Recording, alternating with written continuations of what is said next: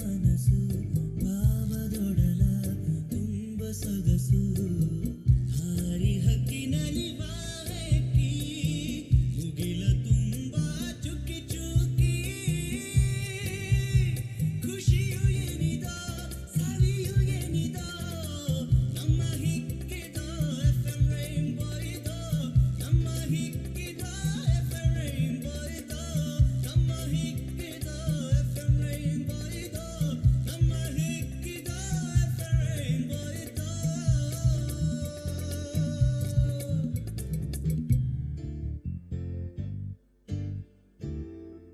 ಪ್ರಿಯ ಕೇಳುಗರೆ, ಅಂತಾರಾಷ್ಟ್ರೀಯ ಮಹಿಳಾ ಸಪ್ತಾಹದ ಸಂದರ್ಭದಲ್ಲಿ ಈಗ ಲೇಖಕಿ ಬರಹಗಾರ್ತಿ ನಾಗರತ್ನ ಚಂದ್ರಶೇಖರ್ ಅವರೊಂದಿಗೆ ಮಾತುಕತೆ ಕೇಳಲಿದ್ದೀರಿ.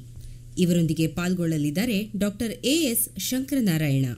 Nagaratna Chandrashekhar ಈ ನಾಡಿನ ಹಿರಿಯ ಬರಹಗಾರ್ತಿಯಲ್ಲಿ ಒಬ್ಬರಾಗಿದ್ದಾರೆ. ಒಟ್ಟು ಹದಿಮೂರು ಪುಸ್ತಕಗಳನ್ನು ಪ್ರಕಟ ಮಾಡಿರುವಂತಹ ನಾಗರತ್ನ ಚಂದ್ರಶೇಖರ್ ಲೇಖಕಿ, ಅಧ್ಯಾಪಕಿ, ಪತ್ರಕರ್ತೆ, ಸಂಘಟಕಿ, ಹೀಗೆ ಅವರ ಅನುಭವದ ವಿಸ್ತಾರ ಹರಹು ಅತ್ಯಂತ ಅಗಾಧವಾದದ್ದು ಅಂತೇಳಿ ಹೇಳ್ಬೋದು. ಅನೇಕ ಸಲ ವಿದೇಶ ಪ್ರವಾಸವನ್ನು ಮಾಡಿರುವಂಥ ನಾಗರತ್ನ ಚಂದ್ರಶೇಖರ್ ಅವರು ಪ್ರಸ್ತುತ ಕರ್ನಾಟಕ ಲೇಖಕಿಯರ ಸಂಘದಲ್ಲಿ ಕೂಡ ಕಾರ್ಯದರ್ಶಿಯಾಗಿ ಕೆಲಸ ಮಾಡ್ತಾ ಇದ್ದಾರೆ. ಈ ಒಂದು ಕಾರ್ಯಕ್ರಮಕ್ಕೆ ಆತ್ಮೀಯವಾದ ಸ್ವಾಗತ ನಾಗರತ್ನ ಅವರಿಗೆ. ನಮಸ್ತೆ ಸರ್. ಎಲ್ಲ ಶ್ರೋತೃಗಳಿಗೆ ನಮಸ್ಕಾರಗಳು. ಭಾಳ ಸಂತೋಷ ಮೇಡಮ್. ಯಾಕೆಂದರೆ ಅಂತಾರಾಷ್ಟ್ರೀಯ ಮಹಿಳಾ ಸಪ್ತಾಹದ ಸಂದರ್ಭದಲ್ಲಿ ನಿಮ್ಮಂತಹ ಸಾಧಕಿಯರನ್ನ ಪರಿಚಯ ಮಾಡಿಕೊಡುವಂಥದ್ದು ನಮಗೂ ಕೂಡ ಬಹಳ ಸಂತೋಷವಾದಂಥ ಒಂದು ಸಮಾಚಾರ. ತಾವು ಹದಿಮೂರು ಪುಸ್ತಕಗಳನ್ನು ಬರೆದಿದ್ದೀರಿ. ನಿಮ್ಮ ಬಾಲ್ಯ ಮತ್ತು ನೀವು ಹೀಗೆ ಲೇಖಕಿಯಾಗಿ ರೂಪುಗೊಳ್ಳುವ ಬಗೆಯನ್ನು ಸ್ವಲ್ಪ ನಮ್ಮ ಕೇಳುಗರಿಗೆ ತಿಳಿಸ್ಕೊಡಿ. ಖಂಡಿತ. ನಾನು ಹುಟ್ಟಿದ್ದು ಬೆಂಗಳೂರಿಗೆ ಅತ್ಯಂತ ಸಮೀಪ ಇರುವಂತಹ ಕನಕ್ಪುರದಲ್ಲಿ. ನಮ್ಮ ತಂದೆ ಶ್ರೀಕಂಠಯ್ಯ ತಾಯಿ ನಂಜಮ್ಮಣ್ಣಿ ನಮ್ಮ ತಂದೆ ತಾಯಿಗೆ ಏಳು ಜನ ಮಕ್ಕಳು. ಐದು ಜನ ಹೆಣ್ಮಕ್ಳು ಒಂದು ರೀತಿಯ ಪ್ರಮೀಳಾ ರಾಜ್ಯ ಅಂತ ಹೇಳ್ಬೋದು ನಮ್ಮ ಮನೆ. ಹಳ್ಳಿ ಅಂತಾನು ಹೇಳಕ್ಕಾಗಲ್ಲ. ಆಗ ನಾನು ಹುಟ್ಟಿದಾಗ ಸಾವಿರದ ಒಂಬೈನೂರ ಐವತ್ತೆರಡರಲ್ಲಿ ಸುಮಾರು ಎಪ್ಪತ್ತು ವರ್ಷದ ಹಿಂದಕ್ಕೆ ಹೋಗಿದ್ರೆ ಅವಾಗ ಅದು ಕಾನ್ಕಾನ್ ಹಳ್ಳಿ ಅಂತಾನೆ ಪ್ರಸಿದ್ಧಿ ಆಗಿತ್ತು ಕಾನ್ಕಾನ್ ಹಳ್ಳಿಯಿಂದ ಅನೇಕ ಪ್ರತಿಭೆಗಳು ಬೇರೆ ಬೇರೆ ರಂಗದಲ್ಲಿ ಇವತ್ತು ಕೂಡ ಕಲಾವಿದರಾಗಿ ಹೆಸರು ಮಾಡಿದ್ದಾರೆ. ನಮ್ಮ ಊರಿನಲ್ಲಿ ಕೂಡ ಸುತ್ತಮುತ್ತ ಅನೇಕ ಪ್ರಸಿದ್ಧ ಸಾಹಿತಿಗಳು ಹುಟ್ಟಿದ್ರು. ಎಲ್ಲ ಸಾಧನೆಗಳನ್ನ ಮಾಡಿದ್ರು. ಅವರಿಗೆಲ್ಲ ಹೋಲಿಸ್ಕೊಂಡ್ರೆ ನಾನು ಏನೂ ಅಲ್ಲ ಅನ್ಬೋದು. ಬಹುಶಃ ಆ ಅರ್ಕಾವತಿ ನೀರು ಕುಡ್ದಿದ್ರಿಂದ ಇರ್ಬೋದು. ನನ್ನಲ್ಲಿ ಅಲ್ಪ ಸ್ವಲ್ಪ ಪ್ರತಿಭೆ ಇದ್ದದ್ದು ಮುಂದಕ್ಕೆ ಬರಕ್ಕೆ ಕಾರಣ ಆಯ್ತು. ಅದು ಬಿಟ್ರೆ ನಮ್ಮ ಮನೆಯ ವಾತಾವರಣ ಆಗಲಿ ನಮ್ಮ ಮನೆಯ ಹಿನ್ನೆಲೆಯಾಗಿ ಅಂತಹ ಸಾಹಿತಿಗಳು ಯಾರೂ ಇರಲಿಲ್ಲ. ನಾನು ಬಾಲ್ಯದಲ್ಲಿ ತುಂಬ ಭಾವುಕಳು ಮತ್ತು ಒಂದು ರೀತಿಯ ಅಂತರಂಗದಲ್ಲೇ ನಾನು ತುಂಬ ಬೇರೆಯವರಿಗೆ ಮರಗೋದು ಈ ಥರ ಎಲ್ಲ ಮಾಡ್ಕೊಳ್ತಾ ಇದ್ದೆ. ತುಂಬ ಅನುಕೂಲಸ್ಥರ ಕುಟುಂಬದಲ್ಲಿ ಹುಟ್ಟಿ ಏನು ನಮಗೆ ತೊಂದರೆ ಇರಲಿಲ್ಲ ಊಟ ಮಾಡಲಿಕ್ಕೆ ಉಡಕ್ಕೆ ಏನು. ಆದರೂ ಕೂಡ ನಾನು ಒಂಥರ ಬೇರೆಯವಳ ಥರನೇ ನಮ್ಮ ಮನೆಯಲ್ಲಿದ್ದ ಮಕ್ಕಳಲ್ಲಿ ಬೇರೆಯವಳ ಥರನೇ ಅನ್ನಿಸ್ತಾ ಇತ್ತು ನನಗೆ. ನಮ್ಮ ತಾಯಿ ಸ್ವಲ್ಪ ಗಂಡು ಮಕ್ಳ ಕಡೆ ಒಲವು ಜಾಸ್ತಿ ತೋರಿಸ್ತಾ ಇದ್ರು. ಆವಾಗಲೇ ನನಗೆ ಒಂಥರ ಹೆಣ್ಮಕ್ಳ ಬಗ್ಗೆ ಯಾಕೆ ಇವರು ಸ್ವಲ್ಪ ಕಡೆಗಣಿಸ್ತಾರೆ ಅನ್ನೋ ಒಂದು ಒಳಗೇನೆ ನನಗೆ ಹೋರಾಟದ ಮನೋಭಾವ ಬೆಳೀತಾ ಇತ್ತು ಅಂತ ಕಾಣಿಸುತ್ತೆ. ಮುಂದೆ ನಾನು ಕಾಲೇಜಿಗೆ ಹೋಗಕ್ಕೆ ಶುರು ಮಾಡಿದ್ಮೇಲೆ ನಮ್ಮ ಮನೆಯಲ್ಲಿ ಒಂಥರ ಹೆಣ್ಮಕ್ಳಿಗೆ ಓದಿಸ್ಬಾರ್ದು ಕಾಲೇಜಿಗೆ ಕಳಿಸ್ಬಾರ್ದು ಅನ್ನೋ ಒಂದು ಪ್ರತಿಕ್ರಿಯೆ ಪ್ರಾರಂಭ ಆಗಿತ್ತು. ಯಾಕಂದ್ರೆ ಯಾರೂ ನಮ್ಮ ಕುಟುಂಬದಲ್ಲಿ ಅದುವರೆಗೂ ಕಾಲೇಜ್ ಮೆಟ್ಲು ತುಳಿದೇ ಇರಲಿಲ್ಲ. ನಾನೇ ಮೊದಲನೇ ಅವಳು ಅಂತ ಹೇಳ್ಬೋದು ನಮ್ಮ ಕುಟುಂಬದಲ್ಲಿ ಕಾಲೇಜಿಗೆ ಹೋಗಿದ್ದು. ತುಂಬಾ ಹತ್ರದಲ್ಲೇ ಇತ್ತು ನಮ್ಮ ಕಾಲೇಜು. ಮತ್ತೆ ನಾನು ಕೂಡ ಒಳ್ಳೆ ವಿದ್ಯಾರ್ಥಿ ಆಗಿದ್ರಿಂದ ಎಲ್ಲ ನಮ್ಮ ಹೈಸ್ಕೂಲ್ ಮೇಸ್ಟ್ಗಳೆಲ್ಲ ಬಂದು ಹೇಳಿದ್ರು ಇಲ್ಲ ಕಳ್ಸಿ ಏನ್ ಮಾಡ್ತೀರಾ ಮನೇಲಿ ಇಟ್ಕೊಂಡು ಕಳ್ಸಿ ಕಳ್ಸಿ ಅಂತ. ನಾನು ತುಂಬಾ ಚಿಕ್ಕವಳು ಹದಿನಾಲ್ಕು ವರ್ಷಕ್ಕೆ ನಾನು ಎಸ್ ಎಲ್ ಸಿ ಪಾಸ್ ಮಾಡಿಬಿಟ್ಟಿದ್ದೆ. ಹಾಗಾಗಿ ನನಗೂ ಕೂಡ ಕಾಲೇಜ್ಗೆ ಹೋಗ್ಬೇಕು ಅಂತ ಆಸೆ ಇತ್ತು ಸಾಹಿತ್ಯದಲ್ಲಿ ಆಸಕ್ತಿ ಇತ್ತು ನನಗೆ. ಹಾಗಾಗಿ ನಾನು ಕಾಲೇಜ್ಗೆ ಕಷ್ಟಪಟ್ಟು ಅಮ್ಮನ ಒಪ್ಸಿ ನಾನು ಮನೆ ಕೆಲಸ ಎಲ್ಲ ಮಾಡ್ಕೊಂಡು ಕಾಲೇಜಿಗೆ ಹೋಗ್ತೀನಿ ಅಂತ ಒಪ್ಸಿ ಅವ್ರನ್ನ ಆಮೇಲೆ ಕಾಲೇಜಿಗೆ ಹೋಗಕ್ಕೆ ಶುರು ಮಾಡಿದೆ. ನಾನು ಪ್ರಾರಂಭ ಅಷ್ಟೇ. ನನ್ನ ನಂತರ ನನ್ನ ತಂಗಿದಿರು ಎಲ್ಲರೂ ಕೂಡ ಕಾಲೇಜಿಗೆ ಹೋಗಿ ಹೋದ್ರು. ಆಮೇಲೆ ನಮ್ಮ ಸಂಬಂಧಿಕರಲ್ಲೂ ಕೂಡ ತುಂಬಾ ಪ್ರೀತಿಯಿಂದ ಎಲ್ಲರೂ ನನ್ನನ್ನ ಗ್ರಾಜುಯೇಟ್ ಆದ್ಮೇಲೆ ತುಂಬಾ ಪ್ರೀತಿಯಿಂದ ನೋಡ್ತಾ ಇದ್ರು. ಒಂದು ವಿದ್ಯಾವಂತೆ ಆದ್ರೆ ಒಂದು ಮಹಿಳೆ ಒಂದು ಕುಟುಂಬದಲ್ಲಿ ವಿದ್ಯಾವಂತೆ ಆದ್ರೆ ಎಷ್ಟು ಪ್ರಯೋಜನ ಇದೆ ಅಂತ ನನಗೆ ಮುಂದೆ ನನ್ನ ಮಕ್ಕಳನ್ನ ಓದಿಸುವಾಗ ನನಗೆ ತುಂಬ ಅರಿವಾಯಿತು. ತಾವು ಹೇಳಿದ್ರಿ ಸಾಹಿತ್ಯದಲ್ಲಿ ಆಸಕ್ತಿ ಮೂಡ್ತು ಅಂತ ಹೇಳಿ. ಯಾಕೆ ಮೂಡ್ತು? ಯಾಕೆಂತಂದ್ರೆ ನಿಮ್ಮ ಮನೆಯಲ್ಲಿ ಯಾರೂ ಕೂಡ ಆ ಥರದ ಸಾಹಿತ್ಯದ ಲೈನ್ನಿಂದ ಬಂದಂಥವ್ರು ಯಾರೂ ಇರಲಿಲ್ಲ ಅಂತ ಕೂಡ ತಾವು ಹೇಳಿದ್ರಿ. ನಮ್ಮ ಮನೇಲಿ ಸಾಹಿತ್ಯ ಸಂಗೀತ ಅಂದರೆ ರೇಡಿಯೋ ಕೇಳೋ ಬಾ ಇದು ಬಹಳ ಇತ್ತು ಎಲ್ರಿಗೂ ನಾವು ಆಗಿದ್ದದ ಮನೋರಂಜನೆ ಅಂದರೆ ರೇಡಿಯೋನೇ. ಆ ರೇಡಿಯೋ ಮಾತ್ರ ಕೇಳ್ಕೊಳ್ತಾ ಇದ್ವಿ ನಾವು. ದಿನಪತ್ರಿಕೆಗಳು ಬರ್ತಾ ಇತ್ತು ನಮ್ಮ ಮನೆಗೆ. ಕಸ್ತೂರಿ ಅನ್ನೋ ಒಂದು ಮಾಸಪತ್ರಿಕೆ ಆಗಿನ ಕಾಲದಲ್ಲೇ ನಾನು ತುಂಬ ಬಂದ ತಕ್ಷಣ ಇಟ್ಕೊಂಡು ರೂಮ್ ಸೇರ್ಕೊಂಡ್ಬಿಡ್ತಾ ಇದ್ದೆ ಓದಕ್ಕೆ. ಅಷ್ಟು ಆಸಕ್ತಿ ನನಗೆ. ಪ್ರಜಾಮತ ಸುಧಾ ಇವೆಲ್ಲ ಬರ್ತಾ ಇತ್ತು. ಇವನ್ನೆಲ್ಲ ನಾವು ಓದ್ತಾ ಇದ್ವಿ. ಆವಾಗ ಪ್ರಜಾಮತದಲ್ಲಿ ನಾನು ಬರೆದು ಬರೆದು ಯಾರಿಗೂ ತೋರಿಸ್ದೆ ಹರಿದಾಕ್ತಾ ಇದ್ದಿದ್ದೆ ಕವನಗಳಾಗ್ಲಿ ಇದ ಕತೆಗಳಾಗ್ಲಿ ಇದ್ವು ಬರಿತಾ ಇದ್ದೆ ನಾನು. ಆದ್ರೆ ಯಾರಿಗೂ ತೋರಿಸ್ಬೇಕು ಪ್ರಕಟಿಸ್ಬೇಕು ಅನ್ನೋ ಧೈರ್ಯ ಇರ್ತಾ ಇರಲಿಲ್ಲ ನನಗೆ. ಹೀಗಿರುವಾಗ ನಮ್ಮ ಸಂಬಂಧಿಕರ ಒಬ್ಬರ ಮೂಲಕ ನನಗೆ ಬೀಚಿ ಅವರ ಪರಿಚಯ ಆಯ್ತು. ಅವರು ನನ್ನ ಕವನಗಳಿಗೆ ಓಂಕಾರ ಹಾಕೊಟ್ರು ಅಂತ ಹೇಳ್ಬೋದು. ಬೇರೆ ಬೇರೆ ಮ್ಯಾಗಝೈನ್ಗೆಲ್ಲ ಅವ್ರ ಮೂಲಕ ಅದನ್ನ ಕಳಿಸ್ಕೊಟ್ಟು ನನಗೆ ಒಂದು ನಾನು ಬರೀಬಲ್ಲೆ ಅನ್ನೋ ಒಂದು ಆಶ್ವಾಸನೆಯನ್ನ ತುಂಬಿಕೊಟ್ರು. ಅವರು ಹೇಗೆ ನಿಮಗೆ ಸಂಪರ್ಕ ಬಂದ್ ಹೇಗೆ? ಅವರು ನಮ್ಮ ನೆಂಟರೊಬ್ರು ಅವ್ರ ಮನೆ ಹತ್ರ ಇದ್ರು ಬೆಂಗಳೂರಲ್ಲಿ. ಅವರು ಹೀಗೆ ನಾನು ಬರೆಯೋದು ಆಸಕ್ತಿ ಇದೆ ಅಂತ ತಿಳ್ಕೊಂಡು ನಾನು ಬರ್ದಿದ್ದೆಲ್ಲ ಅವ್ರಿಗೆ ಕೊಡ್ತಾ ಇದ್ರು. ಅವ್ರು ಬರೆದು ನನಗೆ ಪೋಸ್ಟಲ್ಲೂ ಕೆಲವು ಸತಿ ಬೀಚಿ ಕಾಗದಗಳನ್ನ ಬರ್ದಿದ್ದುಂಟು. ಆಮೇಲೆ ಟಿ ಕೆ ರಾಮರಾವ್ ಅವರು ಮೆಡಿಕಲ್ ಶಾಪ್ ಇಟ್ಟಿದ್ರು ಚನ್ನಪಟ್ಟಣದಲ್ಲಿ. ನಮ್ಮ ತಂದೆನೂ ಮೆಡಿಕಲ್ ಶಾಪ್ ಇಟ್ಟಿದ್ರು. ಹಾಗಾಗಿ ಅವ್ರ ಪರಿಚಯನೂ ಹೇಗೋ ಆಗಿ ಅವ್ರ ಕಾದಂಬರಿಗಳನ್ನಾಗ್ಲಿ ಎಲ್ಲ ಕೊಡ್ತಾ ಇದ್ರು. ಹಾಗೆ ನನಗೆ ಬಹಳ ಪುಸ್ತಕಗಳ ಹೋದ ಹುಚ್ಚು ತುಂಬಾ ಇರೋದು. ರಾತ್ರಿ ಕದ್ದು ಮುಚ್ಚಿನಾರು ಓದ್ ಮುಗಿಸ್ಬಿಡ್ತಾ ಇದ್ದೆ. ಹಾಗೆ ಯಾರು ಬೈತಾ ಇರ್ಲಿಲ್ಲ ನನ್ಗೆ. ಆದ್ರೆ ಬೈದ್ರು ಕೂಡ ನಾನು ಕೇಳಿಸ್ಕೊಳ್ದೆ ನನ್ನ ಪಾಡಿಗೆ ನಾನು ಓದ್ತಾ ಇದ್ದೆ. ಯಾವ್ದು ಇಂಥದೇ ಪುಸ್ತಕ ಅಂತಿಲ್ಲ. ಕೈಗೆ ಯಾವ ಪುಸ್ತಕನಾರು ಸಿಕ್ಲಿ ಓದ್ಬೇಕು ಓದ್ಬೇಕು ಓದ್ಬೇಕು. ಈ ಒಂದು ಹಂಬಲನೇ ನನಗೆ ಆಸಕ್ತಿ ಹುಟ್ಟು. ಬೇರೆ ಬೇರೆ ಜನಗಳನ್ನ ನೋಡಿದಾಗ ಅವ್ರ ಬಗ್ಗೆ ಒಂದು ಯಾವುದೋ ಒಂದು ಒಂದು ಒಂದು ಪರ್ಸನಲ್ ಪರ್ಸನಾಲಿಟಿ ಅನಾಲಿಸಿಸ್ ಮಾಡುವಂತಹ ಶಕ್ತಿ ಕ್ರಮೇಣ ಬರ್ತಾ ಇತ್ತು ನನಗೆ. ಹಾಗಾಗಿ ಒಂದೊಂದು ಕ್ಯಾರೆಕ್ಟರ್ನು ಕೂಡ ಪಾತ್ರಗಳನ್ನ ನನ್ನ ಕತೆಗಳಲ್ಲಾಗ್ಲಿ ಅಥವಾ ನನ್ನ ಹಾಸ್ಯ ಪ್ರಸಂಗಗಳಾಗ್ಲಿ ತೊಡಗಿಸ್ಕೊಳ್ಳೋಕ್ಕೆ ಸಾಧ್ಯ ಆಯಿತು. ಆಮೇಲೆ ಪ್ರಜಾಮತದಲ್ಲಿ ನನ್ನ ಮೊದಲನೇ ಕತೆ ಪ್ರಾರ ಪ್ರಕಟ ಆದಾಗ ತುಂಬಾ ಖುಷಿ ಆಯ್ತು. ಎಷ್ಟನೇ ವರ್ಷದಲ್ಲದು ಸುಮಾರು ಅದು ನೈನ್ಟೀನ್ ಸೆವೆಂಟಿಲಿ ಇರ್ಬೋದು ತಮಗೆ ಆಗ ಎಷ್ಟು ನಾನು ಅವಾಗ ಕಾಲೇಜಲ್ಲಿ ಓದ್ತಾ ಇದ್ದೆ.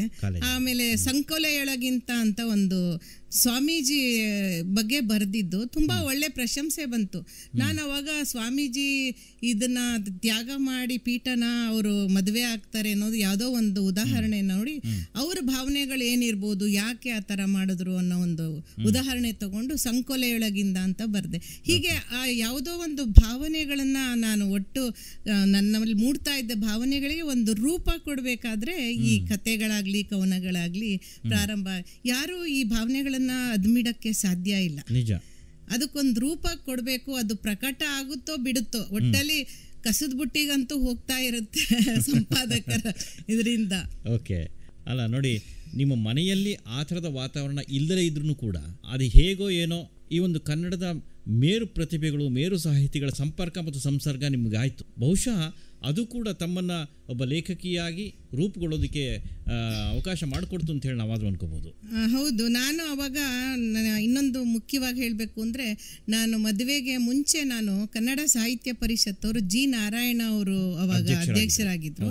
ಆಗ ಅವರು ಒಂದು ಅಖಿಲ ಕರ್ನಾಟಕ ಉದಯೋನ್ಮುಖ ಲೇಖಕಿಯರ ಶಿಬಿರ ಅಂತ ಮಾಡಿದ್ರು. ಅದಕ್ಕೆ ನಾನು ಎನ್ರೋಲ್ ಮಾಡ್ಕೊಂಡಿದ್ದೆ ಹೆಸರು. ಅದು ಆಮೇಲೆ ನನಗೆ ಮದುವೆನೂ ಆಗೋಯ್ತು. ಅದು ಸೆಲೆಕ್ಷನ್ ಆಗ್ಬಿಟ್ಟು ಇದ್ ವಿಷಯ ಗೊತ್ತಾಯ್ತು. ಮದುವೆ ಆದಾಗ ನನಗೆ ಬೆಂಗಳೂರಿಗೆ ಬಂದುಬಿಟ್ಟಿದ್ದೀನಿ ಗಂಡನ ಮನೇಲಿ ಇವಾಗ ಹೆಂಗೆ ಕಳಿಸ್ತಾರೋ ಇಲ್ವೋ ಅನ್ನೋ ಭಯ. ಆದರೆ ಅವರು ಚಾಮರಾಜಪೇಟೆಯಲ್ಲೇ ಇದ್ದಿದ್ರಿಂದ ನಮ್ಮ ಅತ್ತೆ ಮನೆ ಶ್ರೀನಗರದಲ್ಲಿ ಇದ್ದಿದ್ರಿಂದ ಹೋಗಿ ಬೆಳಗ್ಗೆ ಹೋಗಿ ಸಾಯಂಕಾಲ ಬರೋಕ್ಕೆ ಪರ್ಮಿಷನ್ ಸಿಕ್ತು. ಹತ್ತು ದಿನಗಳ ಕಾಲ ಆ ಶಿಬಿರ ಅತ್ಯಂತ ಪ್ರಭಾವಯುತವಾಗಿತ್ತು. ಮೇರು ಸಾಹಿತಿಗಳಾದ ಸಾಶಿ ಮರ್ಲಯ್ಯ ಅವರಾಗಿರ್ಬೋದು ಎಲ್ ಎಸ್ ಶೇಷ್ಗಿರಿ ರಾವ್ ಆಗಿರ್ಬೋದು ರಾಜರತ್ನಂ ಆಗಿರ್ಬೋದು ಇವರೆಲ್ಲ ಬಂದು ನಮಗೆ ಒಂದು ಸಾಹಿತ್ಯ ರಚನೆ ಬಗ್ಗೆ ಅಥವಾ ನಾವು ಬರೆದಿದ್ದನ್ನ ಎಲ್ಲಾನು ಕೂಡ ವಿಮರ್ಶೆ ಮಾಡ್ತಾ ಇದ್ರು. ಆವಾಗಲೇ ನಾನು ವರದಕ್ಷಿಣೆ ವಿರೋಧಿ ಹೋರಾಟದಲ್ಲಿ ತೊಡ್ಕೊಂಡಿದ್ದೆ ಕಾಲೇಜ್ ಡೇಸ್ ಅಲ್ಲಿರುವಾಗಲೇ ಹಾಗೆ ವರ ಪರೀಕ್ಷೆ ಅಂತ ಒಂದು ನಾಟಕ ಕೂಡ ಬರೆದಿದ್ದೆ ಅವಾಗ. ವಧು ಪರೀಕ್ಷೆ ಪರೀಕ್ಷೆ ಬದಲು ವರ ಪರೀಕ್ಷೆ ಅಂತ. ಆಮೇಲೆ ವಿರಹಿ ಶಾಕುಂತಲ ಅಂತ ಒಂದು ಡ್ರಾಮಾ ಕೂಡ ಬರ್ದಿದ್ದೆ ನಾಟಕನ. ಇದನ್ನೆಲ್ಲನು ಅಲ್ಲಿ ನಾನು ಸ್ಟೇಜ್ ಮೇಲೂ ತಗೊಂಡ್ ಬಂದೆ ಆವಾಗ. ಹಾಗೆ ಮತ್ತೆ ಏನಾಯ್ತು ಆ ಟೈಮಲ್ಲಿ ಮದುವೆ ಆದ್ಮೇಲೆ ಮಕ್ಕಳು ಆಗಿ ನನ್ನ ಸಾಹಿತ್ಯದ ಬರಹಗಳು ಹಿಂದೆ ಉಳಿದೋಯ್ತು. ಮುಂದೆ ನನ್ನ ಮಕ್ಕಳೇ ಕಾದಂಬರಿಗಳಾಗಿ ಬೆಳೆಯಕ್ಕೆ ಶುರು ಮಾಡಿದ್ರು. ಓಕೆ ಸ್ನೇಹಿತರೆ ಲೇಖಕಿ ಹಾಗೆ ಬರಹಗಾರ್ತಿ ನಾಗರತ್ನ ಚಂದ್ರಶೇಖರ್ ಅವರೊಂದಿಗೆ ಮಾತುಕತೆಯನ್ನು ನೀವು ಕೇಳ್ತಾ ಇದ್ದೀರಾ? ನಿಮ್ಮ ಅನಿಸಿಕೆ ಮತ್ತು ಅಭಿಪ್ರಾಯಗಳನ್ನು ಒಂಬತ್ತು ನಾಲ್ಕು ಎಂಟು ಸೊನ್ನೆ ಒಂಬತ್ತು ಸೊನ್ನೆ ಒಂದು ಸೊನ್ನೆ ಒಂದು ಮೂರು ಈ ಒಂದು ವಾಟ್ಸ್ಆ್ಯಪ್ ಸಂಖ್ಯೆಗೆ ಕಳಿಸಿ. ಮೇಡಮ್ ತಾವು ಹೇಳ್ತಾ ಇದ್ರಿ ತಮ್ಮ ಪ್ರಾರಂಭಿಕ ಹಂತಗಳಲ್ಲಿ ಕನ್ನಡದ ಮೇರು ಸಾಹಿತಿಗಳ ಪ್ರಭಾವ ನಿಮ್ಮ ಮೇಲೆ ಆಯಿತು ಅಂತ ಹೇಳಿ. ಹೌದು. ಜೊತೆಗೆ ತಾವು ಕಾಲೇಜು ವಿದ್ಯಾಭ್ಯಾಸಕ್ಕೆ ಬಂದ್ರಿ. ತಮ್ಮ ಕಾಲೇಜು ವಿದ್ಯಾಭ್ಯಾಸ ಎಲ್ಲಾಯಿತು? ಕನಕ್ಪುರದ ರೂರಲ್ ಕಾಲೇಜಿನಲ್ಲೇ ಕನಕ್ಪುರದಲ್ಲಿ ನಾನು ಮಾಡಿದ್ದು. ಅವಾಗ ನಾನು ಮೇಜರ್ ಕನ್ನಡ ತಗೊಂಡಿದ್ದೆ. ಅಲ್ಲಿ ನಾನು ಸಾಹಿತ್ಯದಲ್ಲಿ ಬಹಳ ಆಸಕ್ತಿಯಿಂದ ಓದ್ತಾ ಇದ್ದೆ. ತುಂಬಾ ಚೆನ್ನಾಗಿ ಮಾರ್ಕ್ಸ್ಗಳು ಕೂಡ ಸಿಗ್ತಾ ಇತ್ತು ನನಗೆ. ಮತ್ತೆ ಅದ್ರ ಜೊತೆಗೆ ನಾನು ಈ ಹೋರಾಟದ ಬಗ್ಗೆ ಹೇಳಿದ್ನಲ್ಲ ವಿಧವಾ ವಿವಾಹ ಇರ್ಬೋದು ವರದಕ್ಷಿಣೆ ವಿರೋಧಿ ಆಕ್ಟಿವಿಟೀಸ್ ಇರ್ಬೋದು. ಇದರಲ್ಲೆಲ್ಲ ನಾನು ವೇದಿಕೆ ಮೇಲೆ ಬಹಳ ಜೋರ ಘಂಟಾಘೋಷವಾಗಿ ಮಾತಾಡಕ್ ಶುರು ಮಾಡ್ಬಿಡ್ತಿದ್ದೆ. Okay. ಯಾವುದು ಈ ಮೂಢನಂಬಿಕೆಗಳ ಬಗ್ಗೆ ಆಗ್ಲಿ ಎಲ್ಲಾನು ಕೂಡ ವಿರೋಧಿಸ್ತಾ ಇದೆ ನಾನು. ಅವಾಗೇನು ಇನ್ಫೀರಿಯಾರಿಟಿ ಕಾಂಪ್ಲೆಕ್ಸ್ ಅನ್ನೋದೇನಿರಲಿಲ್ಲ ಇರ್ಲಿಲ್ಲ? ಯಾಕೋ ಗೊತ್ತಿಲ್ಲ. ನಾನು ತುಂಬಾ ಪುಟ್ಟದಾಗಿ ಕಾಣಿಸ್ತಾ ಇದ್ರಿಂದ ಪುಟ್ಟ ಹುಡುಗಿ ಹಿನ್ಕೊಂಡ್ಬಿಟ್ಟಿದ್ರು ಜನ. ಯಾಕಂದ್ರೆ ನಾನು ಬೆಳವಣಿಗೆಯಲ್ಲಿ ಅವಾಗ ಸ್ವಲ್ಪ ಚಿಕ್ಕವಳಾಗೆ ಕಾಣಿಸ್ತಾ ಇದ್ದೆ. ತುಂಬಾ ಬೇಗ ನಾನು ಕಾಲೇಜಿಗೆ ಬಂದೆ ಅಂತ ಹೇಳಿದ್ನಲ್ಲ ಹದಿನಾಲ್ಕು ವರ್ಷ ತುಂಬಿತ್ತಷ್ಟೇ ನನಗೆ ಅವಾಗ ಆಮೇಲೆ ಮನೆಯಲ್ಲೂ ಕೂಡ ಏನ್ ಅಂತ ನನಗೆ ನನಗೇನು ಹಿನ್ನೆಲೆ ಏನು ಹಿನ್ನಡೆ ಏನು ಆಗ್ಲಿಲ್ಲ. ನನ್ನ ಪಡಂಗ್ ನಾನು ಯಾರಿಗೂ ತೊಂದರೆ ಆಗದ ರೀತಿಯಲ್ಲಿ ಒಂದು ಸಮಾಜ ಕಟ್ಟಬೇಕು ಅಂತ ಅಲ್ಲಿ ಯುವ ಯುವ ಸಮಾಜ ಕಟ್ಟಬೇಕು ಅಂತ ಚೀನಾ ಮಂಗ್ಲ ಅವರು ಆಯೋಜನೆ ಮಾಡ್ಕೊಂಡಿದ್ರು. ಚೇತನ ಯುವತಿ ಮಂಡಳಿ ಅಂತ ಅವಾಗ ನಾನನ್ನ ಅದಕ್ಕೆ ಸೆಕ್ರೆಟರಿ ಮಾಡಿದ್ರು. ಅವಾಗ್ಲೇನೆ ಅವಾಗ ನಾನು ಫಸ್ಟ್ ಟೈಮ್ ನಮ್ಮ ಕನಕ್ಪುರದಲ್ಲಿ ನಾನು ಹುಡುಗಿರಿಗೆ ಮಾತ್ರ ಒಂದು ಬ್ಯಾಡ್ಮಿಂಟನ್ ಕೋರ್ಟ್ ಮಾಡಬೇಕು ಮೇಡಮ್ ಅಂದ್ಬಿಟ್ಟು ಒಂದು ಸ್ಕೂಲ್ ಹಿಂಭಾಗ ಅವ್ರ ಹತ್ರ ಹೇಳಿ ಮಾಡಿಸ್ಕೊಂಡ್ವಿ ನಾವು. ಹೀಗೆ ಒಂದು ಪ್ರಗತಿ ಪಥದ ಹತ್ರ ಹೆಣ್ಮಕ್ಳು ಹೋಗ್ಬೇಕು ಎಲ್ಲದಕ್ಕೂ ಮುಂದಾಗಬೇಕು ಅನ್ನೋ ಆಸಕ್ತಿಯಿಂದ ನಾನು ಕೆಲಸ ಮಾಡ್ತಾ ಇದ್ದೆ. ಆ, ಆ ಸಮಾಜದಲ್ಲಿ ಜಮಖಾನ ಎತ್ತಾಕೋರು ನಾವೇ ಭಾಷಣ ಹೇಳೋರು ನಾವೇ ಹೀಗೆ ಎಲ್ಲರೂ ಎಲ್ಲ ಕೆಲಸನೂ ಮಾಡಿಕೊಂಡು ಬಹಳ ಸಂತೋಷ ಪಡ್ತಾ ಇದ್ವಿ. ಅದೆಲ್ಲ ಮಾಡಿದ್ರಿಂದಲೇ ಇಷ್ಟು ಗಟ್ಟಿತನ ಬರೋದು ಸಾಧ್ಯ ಆಗಿದೆ ಅಂತ ಹೌದು. ಯಾಕಂದ್ರೆ ನನಗೆ ಆವಾಗ ಆಕಾಶವಾಣಿಯವರು ಈ ಇದರಲ್ಲಿ ಬೆಂಗಳೂರಿಂದ ಕೆಲವು ಸತಿ ಕೆಲವು ಕಾರ್ಯಕ್ರಮ ಮಾಡೋಕ್ಕೆ ಅವರ ಎಲ್ಲ ಇನ್ಸ್ಟ್ರೂಮೆಂಟ್ ಎಲ್ಲ ತೊಗೊಂಡು ಬಂದು ರೆಕಾರ್ಡ್ ಮಾಡ್ತಾಯಿದ್ರು ಆಗ ನನ್ನನ್ನು ಒಬ್ಬರು ಕರೆದ್ರು. ಇವರು ಬಹಳ ಆಕ್ಟಿವ್ ಗರ್ಲ್ ಇವರು ಬನ್ನಿ ಅಂದ್ಬಿಟ್ಟು. ನಾನು ಅವಾಗಲೇ ಕತೆ ಬರಿತಾ ಇದ್ದೇನಲ್ಲ ನಾನೊಂದು ತಾಯವ್ವ ಅಂತ ಬಹು ಮಕ್ಕಳನ್ನ ಹೆತ್ತಿರೋ ಅಂತಂದ್ರೆ ಯಾವ ತರ ದುಷ್ಪರಿಣಾಮ ಆಗುತ್ತೆ ಅನ್ನೋದ್ರ ಬಗ್ಗೆ ಒಂದು ಪುಟ್ಟು ಕತೆ ಬರೆದಿದ್ದೆ. ಆಕಾಶವಾಣಿಯವರು ರೆಕಾರ್ಡ್ ಮಾಡ್ಕೊಂಡ್ರದನ್ನ ತಾಯವ್ವ ಅನ್ನೋ ಕತೆನ. ಅದು ಪ್ರಸಾರ ಆಯ್ತು ನಾನು ಕೇಳಿ ತುಂಬಾ ಸಂತೋಷ ಆಯ್ತು. ಹೀಗೆ ನನ್ನ ಆಲೋಚನೆಗಳು ದಿಕ್ಕನ್ನ ಬದಲಾಯಿಸಿದಂತಹ ಪರಿಸ್ಥಿತಿ ಆಗ ಸುಮಾರು ಎಪ್ಪತ್ತು ವರ್ಷದ ಹಿಂದೆ ಆ ಸಣ್ಣ ಹಳ್ಳಿ ಅಂತ. ಆಗ ಪ್ರಗತಿ ಹತ್ರ ಹೋಗ್ತಾ ಇತ್ತು. ಈಗ ಕನಕ್ಪುರಕ್ಕೆ ಹೋದ್ರೆ ನೀವು ನಾವು ಬೆಳೆದಿದ್ದ ಊರಿನಲ್ಲಿ ನಂಗೆ ಗುರ್ತೇ ಸಿಗಲ್ಲ. ಅಷ್ಟು ಬದಲಾವಣೆಗಳಾಗಿದೆ. ಅದೇ ನದಿ ಹರಿತಾ ಇದೆ ಅರ್ಕಾವತಿ. ಆದ್ರೆ ಒಂದು ಕಾಲದಲ್ಲಿ ತುಂಬಿ ಹರಿತಾ ಇದ್ದ ನದಿನಲ್ಲಿ ಇವಾಗ ಎಲ್ಲ ಬತ್ತೋಗಿ ನೀರೆಲ್ಲ ಇದಾಗಿ ತುಂಬಾ ಕಸ ಕೊಳೆ ಎಲ್ಲ ಸೇರ್ಕೊಂಬಿಟ್ಟಿದೆ. ಅದ್ರ ಬಗ್ಗೆನೇ ಒಂದು ಬರುವುದಾದರೆ ಬನ್ನಿ ನಮ್ಮೂರಿಗೊಮ್ಮೆ ಅಂತ ಒಂದು ಕವನನೇ ಬರೆದ್ಬಿಟ್ಟೆ ಹೀಗೆ ನನ್ನ ಆಲೋಚನೆಗಳಿಗೆ ತಕ್ಕಂತಹ ಹುಡುಗ ಸಿಗ್ಬೋದಾ ಅಂತ ಒಂದು ಯೋಚನೆ ಪ್ರಾರಂಭ ಆಯ್ತು ಯಾಕಂದರೆ ಮದುವೆಗೆ ಹುಡುಕ್ತಾ ಇದ್ರು ನಮ್ಮ ಮನೆಯಲ್ಲಿ. ನಮ್ಗೇನು ಚಾಯ್ಸ್ ಏನು ಇರಲಿಲ್ಲ. ನಮ್ಮ ಅಕ್ಕಂದ್ರಿಬ್ರು ಮದ್ವೆ ಆಗಿದ್ದು ಬ್ಯಾಂಕ್ನಲ್ಲಿರೋ ಉದ್ಯೋಗಿನೇ. ಅದರಿಂದ ನನ್ಗನ್ನಿಸ್ತು ಬ್ಯಾಂಕ್ ಉದ್ಯೋಗಿನ ಮದ್ವೆ ಆದ್ರೆ ನಾನು ಪ್ರವಾಸ ಮಾಡ್ಬೋದು ತುಂಬಾ. ಮೂರು ವರ್ಷಕ್ಕೊಂದ್ಸತಿ ಎಲ್ ಎಫ್ ಸಿ ಎಲ್ಲ ಸಿಗುತ್ತೆ ಅನ್ನೋದು ನನ್ನ ಆಲೋಚನೆ ಅವಾಗ. ಹುಡುಗಂಗಿಂತ ಜಾಸ್ತಿ ಪ್ರವಾಸ ಹೋಗ್ಬೇಕು ಅನ್ನೋ ಆಲೋಚನೆ. ಅದೃಷ್ಟವಶಾತ್ ನನ್ನ ಕೈ ಹಿಡಿದವರು ಕೂಡ ಸ್ಟೇಟ್ ಬ್ಯಾಂಕ್ ಆಫ್ ಇಂಡಿಯಾನಲ್ಲೇ ಇದ್ರು. ಮದ್ವೆ ಆದ್ಮೇಲೆ ನಾವು ತುಂಬಾ ಪ್ರವಾಸ ಅವ್ರು ರಿಟೈರ್ಡ್ ಆಗೋ ತನಕ ಬೇಕಾದಷ್ಟು ಪ್ರವಾಸ ಮಾಡಿದ್ವಿ. ಅವರಿಂದ ನಿಮಗೆ ನಿಮ್ಮ ಸಾಹಿತ್ಯ ಕೃಷಿಗೆ ಒತ್ತಾಸೆ ಸಿಗ್ತಾ ಒಂದ್ಸತಿ ಹೇಳ್ಬೇಕು ಅಂದ್ರೆ ಅವ್ರು ಬಹಳ ಮಾತು ತುಂಬಾ ಕಡಿಮೆ. ಪ್ರತಿಕ್ರಿಯೆ ಅಂತ ಏನೂ ಇರ್ತಾ ಇರ್ಲಿಲ್ಲ. ಯಾವುದೇ ಒಂದು ಇದಕ್ಕೆ ಅಡೆತಡೆನೂ ಏನೂ ಇರ್ತಾ ಇರ್ಲಿಲ್ಲ. ಒಬ್ರು ಹೆಚ್ಚಿಗೆ ಮಾತಾಡಿ ಒಬ್ರು ಕಡಿಮೆ ಮಾತಾಡದೆ. ಇರ್ಬೋದು. ಒಂಥರ ಸೈಲೆಂಟ್ ಪಾರ್ಟ್ನರ್ ಅವರು. ಅವರು ನನಗಿಂತ ಮುಂಚೆನೆ ಬ್ಯಾಂಕಿನ ಮದುವೆ ಆಗ್ಬಿಟ್ಟಿದ್ರು. ನಾನು ಅವ್ರ ಎರಡನೇ ಹೆಂಡತಿ ಅಂತ ಹೇಳ್ತಾ ಇದ್ದೆ. ಸೊ ಫುಲ್ ಅವ್ರ ಜೀವನ ಎಲ್ಲ ಡೆಡಿಕೇಟೆಡ್ ಟು ಬ್ಯಾಂಕ್ ಅಂತ ಹೇಳ್ಬೋದು. ಪಾಪ ಅವರು ಬೆಳಗ್ಗೆ ಹೋದ್ರೆ ಸಾಯಂಕಾಲದ ತನಕ ಬ್ಯಾಂಕಲ್ಲಿ ಕೆಲಸ ಮಾಡ್ಕೊಂಡು ಬರೋರು.